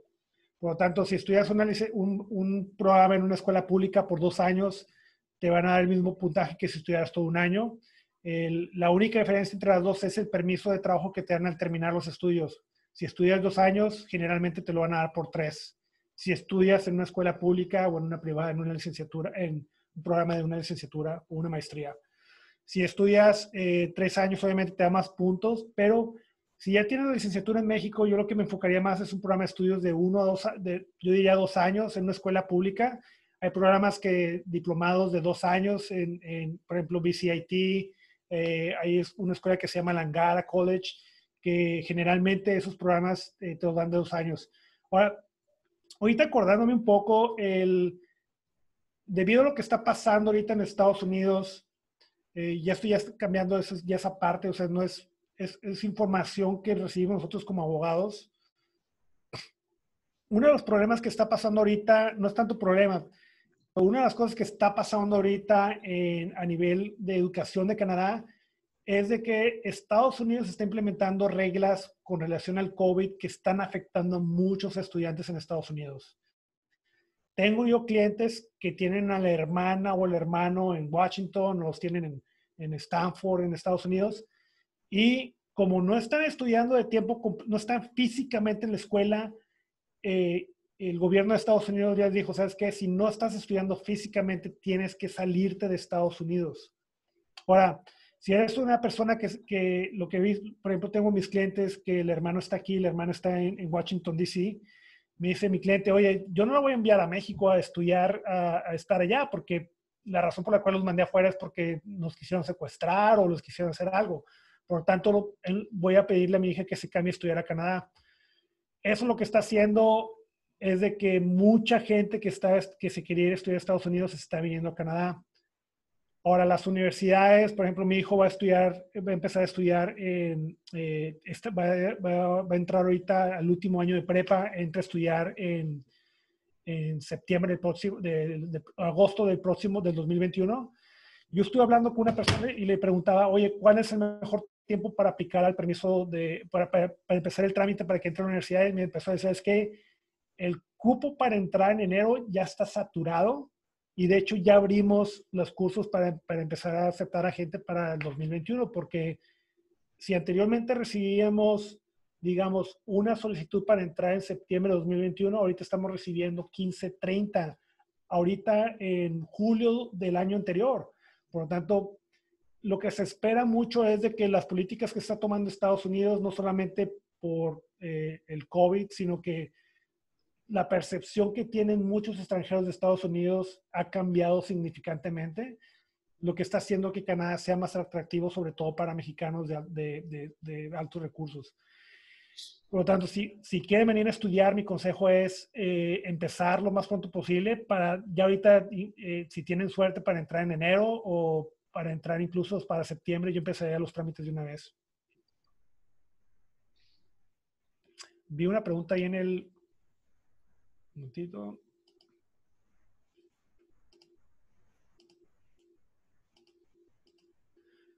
Ah, tengo 31 años. Ah, papá. El, por ejemplo, es entrar a estudiar nutrición, lo puedo llevar en línea, en tres años concluyo. Las nuevas reglas que puso inmigración ahorita, con, bueno, voy a, Manuel, voy a contestar ahorita tu pregunta más o menos en dos partes. Una es, eh, tenemos ahorita el mismo problema que tenemos en México y en Estados Unidos y en todo el mundo, que no hay clases presenciales. Lo que, eh, lo que, lo que está haciendo inmigración es de que eh, Migración ya declaró que sí van a permitir que la gente estudie en línea eh, y eh, pueden estudiar hasta el 50% del programa de estudios en línea, pero el 50% del programa de estudios puede ser presencial. Por lo tanto, eso en parte va un poco a, a tu pregunta, eh, Manuel, de que, de, que, de que si la puedo llevar en línea. Sí puedes tomar un curso en línea, pero eh, lo mejor es que tengas tu permiso de estudios, porque si no tienes el permiso de estudios, puedes llegar a tener el problema de que inmigración te diga, sabes que nunca aplicaste un permiso de estudios, por lo tanto no te puedo reconocer los estudios que hiciste anteriormente. Eh, tengo ahorita clientes que ya tienen la carta de aceptación para el 3 de septiembre, aplicamos desde febrero el permiso de estudios, no los han aprobado, pero inmigración ya les dijo, sabes que tenemos su trámite en proceso, puedes empezar a estudiar en línea, si, si en septiembre no tienes una respuesta, los estudios que puedes hacer en septiembre te los vas a poder aceptar. El único problema es de que si llegan a rechazar el permiso de estudios, ya empezaron a estudiar, por, por lo tanto la escuela no les va a devolver lo que ya pagaron. Eh, ahora, si tienes una lesión, eh, eh, una lesión física, realmente no es una limitación para venir a Canadá. La, eh, para venir a Canadá e inmigrar tienes que ser admisible por, eh, admisible por cuestiones médicas.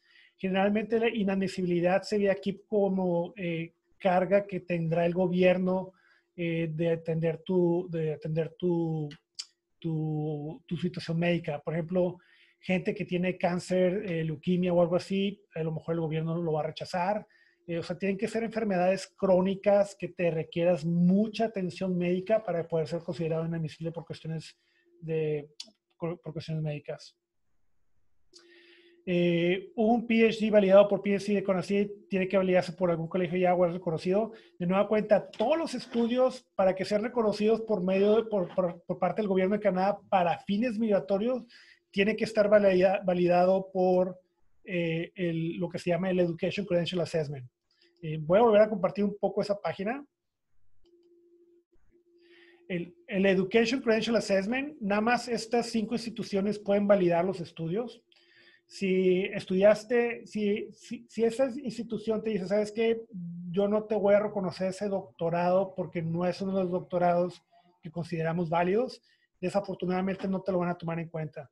Por lo tanto, en ocasiones tú tienes que hacerles el caso a, la, a esas instituciones, decirle, oye, yo estudié este curso, eh, fue un curso de investigación, está reconocido, etcétera.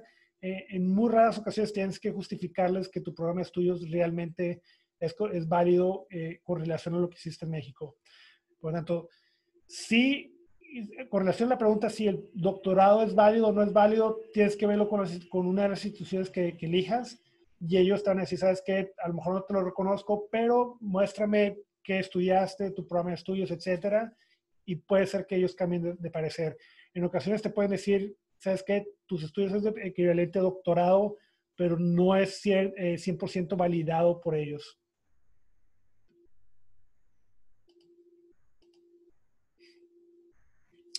¿Cómo funciona el Education Credential Assessment para médicos? ¿Ok? El, tienes que hacerlo, el Credential Assessment para médicos tienes que hacerlo con el Medical Council of Canada. Es, ellos nada más se encargan a determinar cuál es tu... Oh, la página de ellos no funciona, pero el, tienes que determinar cuál es el nivel, ellos tienen que determinar cuál es tu nivel de estudios a comparación con Canadá.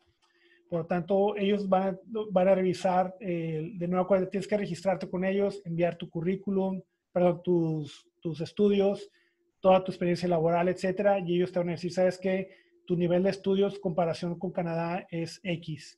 Por lo tanto, generalmente sí te lo van a, te van a reconocer tus estudios como médico, pero también si sabes que te lo reconozco que estudiaste medicina, tienes tu licencia de doctor en México, pero no puedes ejercer la ocupación aquí, pero para fines de inmigración puedes venirte.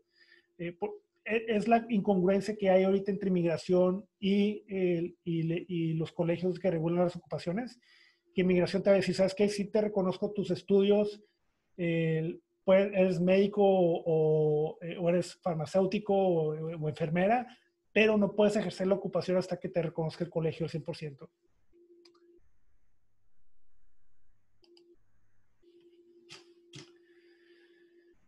Nos quedan 10 minutos más. Eh, no sé si tengan alguna última pregunta.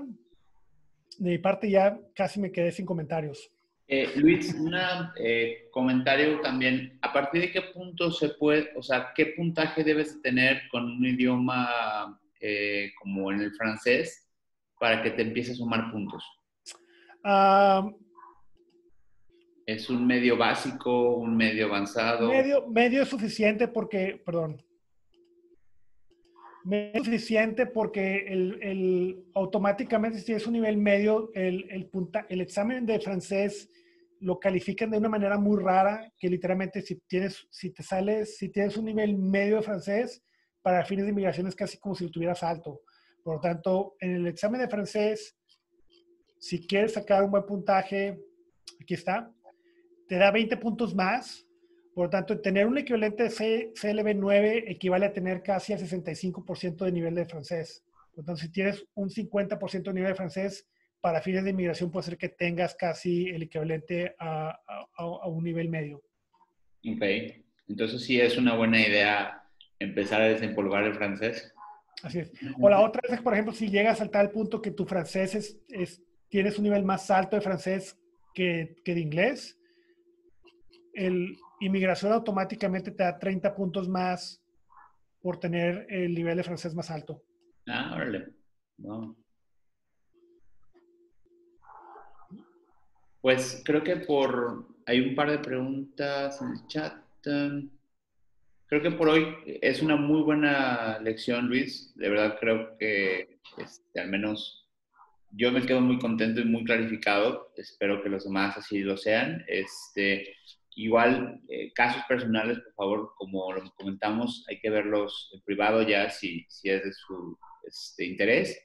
Y pues agradecerte, creo que por hoy es una excelente sesión y pues esperar el siguiente viernes. Claro que sí.